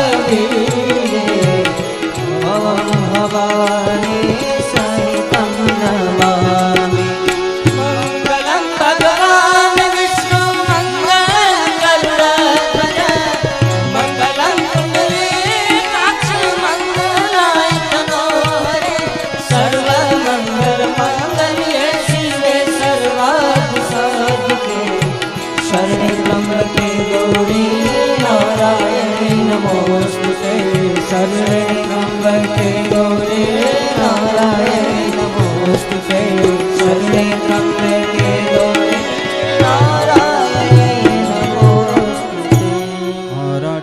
સમર્પયામી જલેન ચિતલીકૃત્યમ મહું યાનિકાનિ ચ પાપાની જન્માંતરકૃતાની ચ તાની સર્વાણી નશ્યંતુ પ્રદક્ષિણાં પદે પદે અત પુષ્પૈ દેવાભિવંદનમ મહ કરકમલૈ દેવાભિવંદનમ મહ સ્વાત્મનરક્ષણાર્થે આત્માભિવંદનમ મહ બધા યજમાનો આરતી લઈ જાઓ. આરતી અને પ્રસાદી તમામ ભાવિક ભક્તો સુધી પહોંચે એવી વ્યવસ્થા કરાવી સ્વયંસેવક ભાઈઓ બે આવી જાઓ. બધાય ભક્તજનો સુધી આરતી અને પ્રસાદી પહોંચાડો. આરતી લેવાઈ જાય એટલે આપનો હાથ ખાસો કરી નાખો, બંને હાથ ધોઈ નાખો. હસ્તંબાસ્તો પ્રક્ષાલ્ય.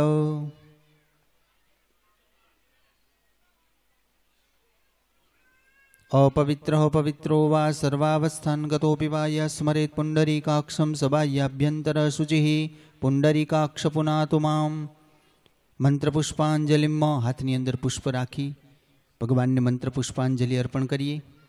ચरणનલિનિયુગ્મં પङ्कजैर्पूजयित्वा कनककमलमालाकण्ठदेशैर्पहित्वा शिरसिविनिहितोऽयं मन्त्रपुष्पाञ्जलिस्ते हृदयकमलमध्ये देवहर्षं तनोतु विद्याबुद्धिर्धनैश्वर्यं पुत्रपौत्रादिसम्पदं पुष्पाञ्जलिप्रदानेन देहि मे वाञ्छितं फलं ભગવતચરણયોહ મંત્રપુષ્પાંજલિમ સમર્પયામી ત્યાં પોથીજીની ઉપર પુષ્પ પધરાવી દઈએ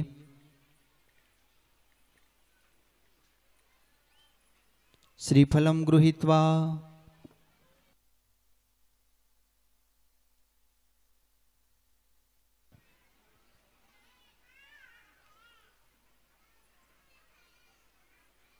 જેમની પાસે શ્રીફળ છે એ સૌથી આગળ ચાલશે.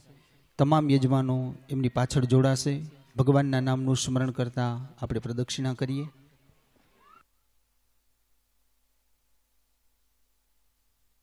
એક પ્રદક્ષિણા કરવાની છે. આપની પ્રદક્ષિણા પૂર્ણ થાય એટલે ત્યાં પોથીજીની સામે ઊભું રહી જવાનું છે. બાકીના યજમાનો પાછળ પાછળ આવી જશે બધાય. હરિ ઓમ મમ યાની કાની જ પાપાની જન્માંતરકૃતાની ચ તાની સર્વાણી નશ્યંતુ. પ્રદક્ષિણામ પદે પદે પાપોહમ પાપકર્માહમ પાપાત્મા પાપસંભવમ. ત્રાહિ મામ પુંડરીકાક્ષ સર્વપાપહરો હરિ श्रीराम जय राम जय जय राम। श्रीराम जय राम जय जय राम। श्रीराम जय राम जय जय राम। श्रीराम जय राम जय जय राम। श्रीराम जय राम जय जय राम। श्रीराम जय राम जय जय राम। શ્રીરામ જય રામ જય જય રામ ઓમ ફલેન ફલિतं સર્વાત્રૈલોક્યસ્ય ચરાચર ફલદાન પ્રભાવેન પૂર્ણા સંતુ મનોરથા સફલા સંતુ મનોરથા શ્રીફલમ સમર્પયામિ શ્રીફળ ત્યાં પોથીજીને સ્પર્શ કરાવી બાજુમાં પધરાવી દઈએ બે હાથ જોડી બધા યજમાનો ત્યાં વાંગમય મૂર્તિને પોથીજીને વંદન કરો ત્વમેવ માતાશ્ચ પિતા ત્વમેવ ત્વમેવ બંધુશ્ચ સખા ત્વમેવ त्वमेव विद्याद्रविणं त्वमेव त्वमेव सर्वं मम देवदेवः। कायेन वाचा मनसिन्द्रियैर्वा बुद्ध्यात्मनाभा प्रकृतिस्वभाव करोमि यद्यत् सकलं परस्मै नारायणायेति समर्पयामिह प्रार्थनापूर्वकनन्दकोटिनमस्कारान् नमस्करोमि। जलमादाय पाणिनिचमचिभरि राखो હરિ ઓમ મહ અનેન ભાંગમય મૂર્તિનામ પૂજન અર્ચન તેન કર્માદિશ દેવતા રામ ચરણ કર્મલે અર્પિતમસ્તુ. જલ નીચે પધરાવી દઈએ. ત્રણ વખત બધા યજમાનો વિષ્ણુ ભગવાનનું નામ લઈ જઈએ. ઓમ વિષ્ણવે નમઃ. ઓમ વિષ્ણવે નમઃ. ઓમ વિષ્ણવે નમઃ. બોલો રામચંદ્ર ભગવાન કી જય. હનુમાનજી મહારાજ કી જય. સુરાપુરા દાદાની જય. કુલદેવી માત કી જય શ્રી નમઃ પાર્વતી પતય હર હર મહાદેવ હર તમામ યજમાનો પોથીજીને વંદન કરી શાસ્ત્રીજીને વંદન કરી અને સ્ટેજની નીચે આવી જાઓ. ત્યાર પછી જે કોઈ ભાવિક ભક્તો, શ્રોતાજનો અહીંયા ઉપસ્થિત છે, મંડપની અંદર, આપ લોકોને પોથીજીના દર્શન, પ્રદક્ષિણા કરવી હોય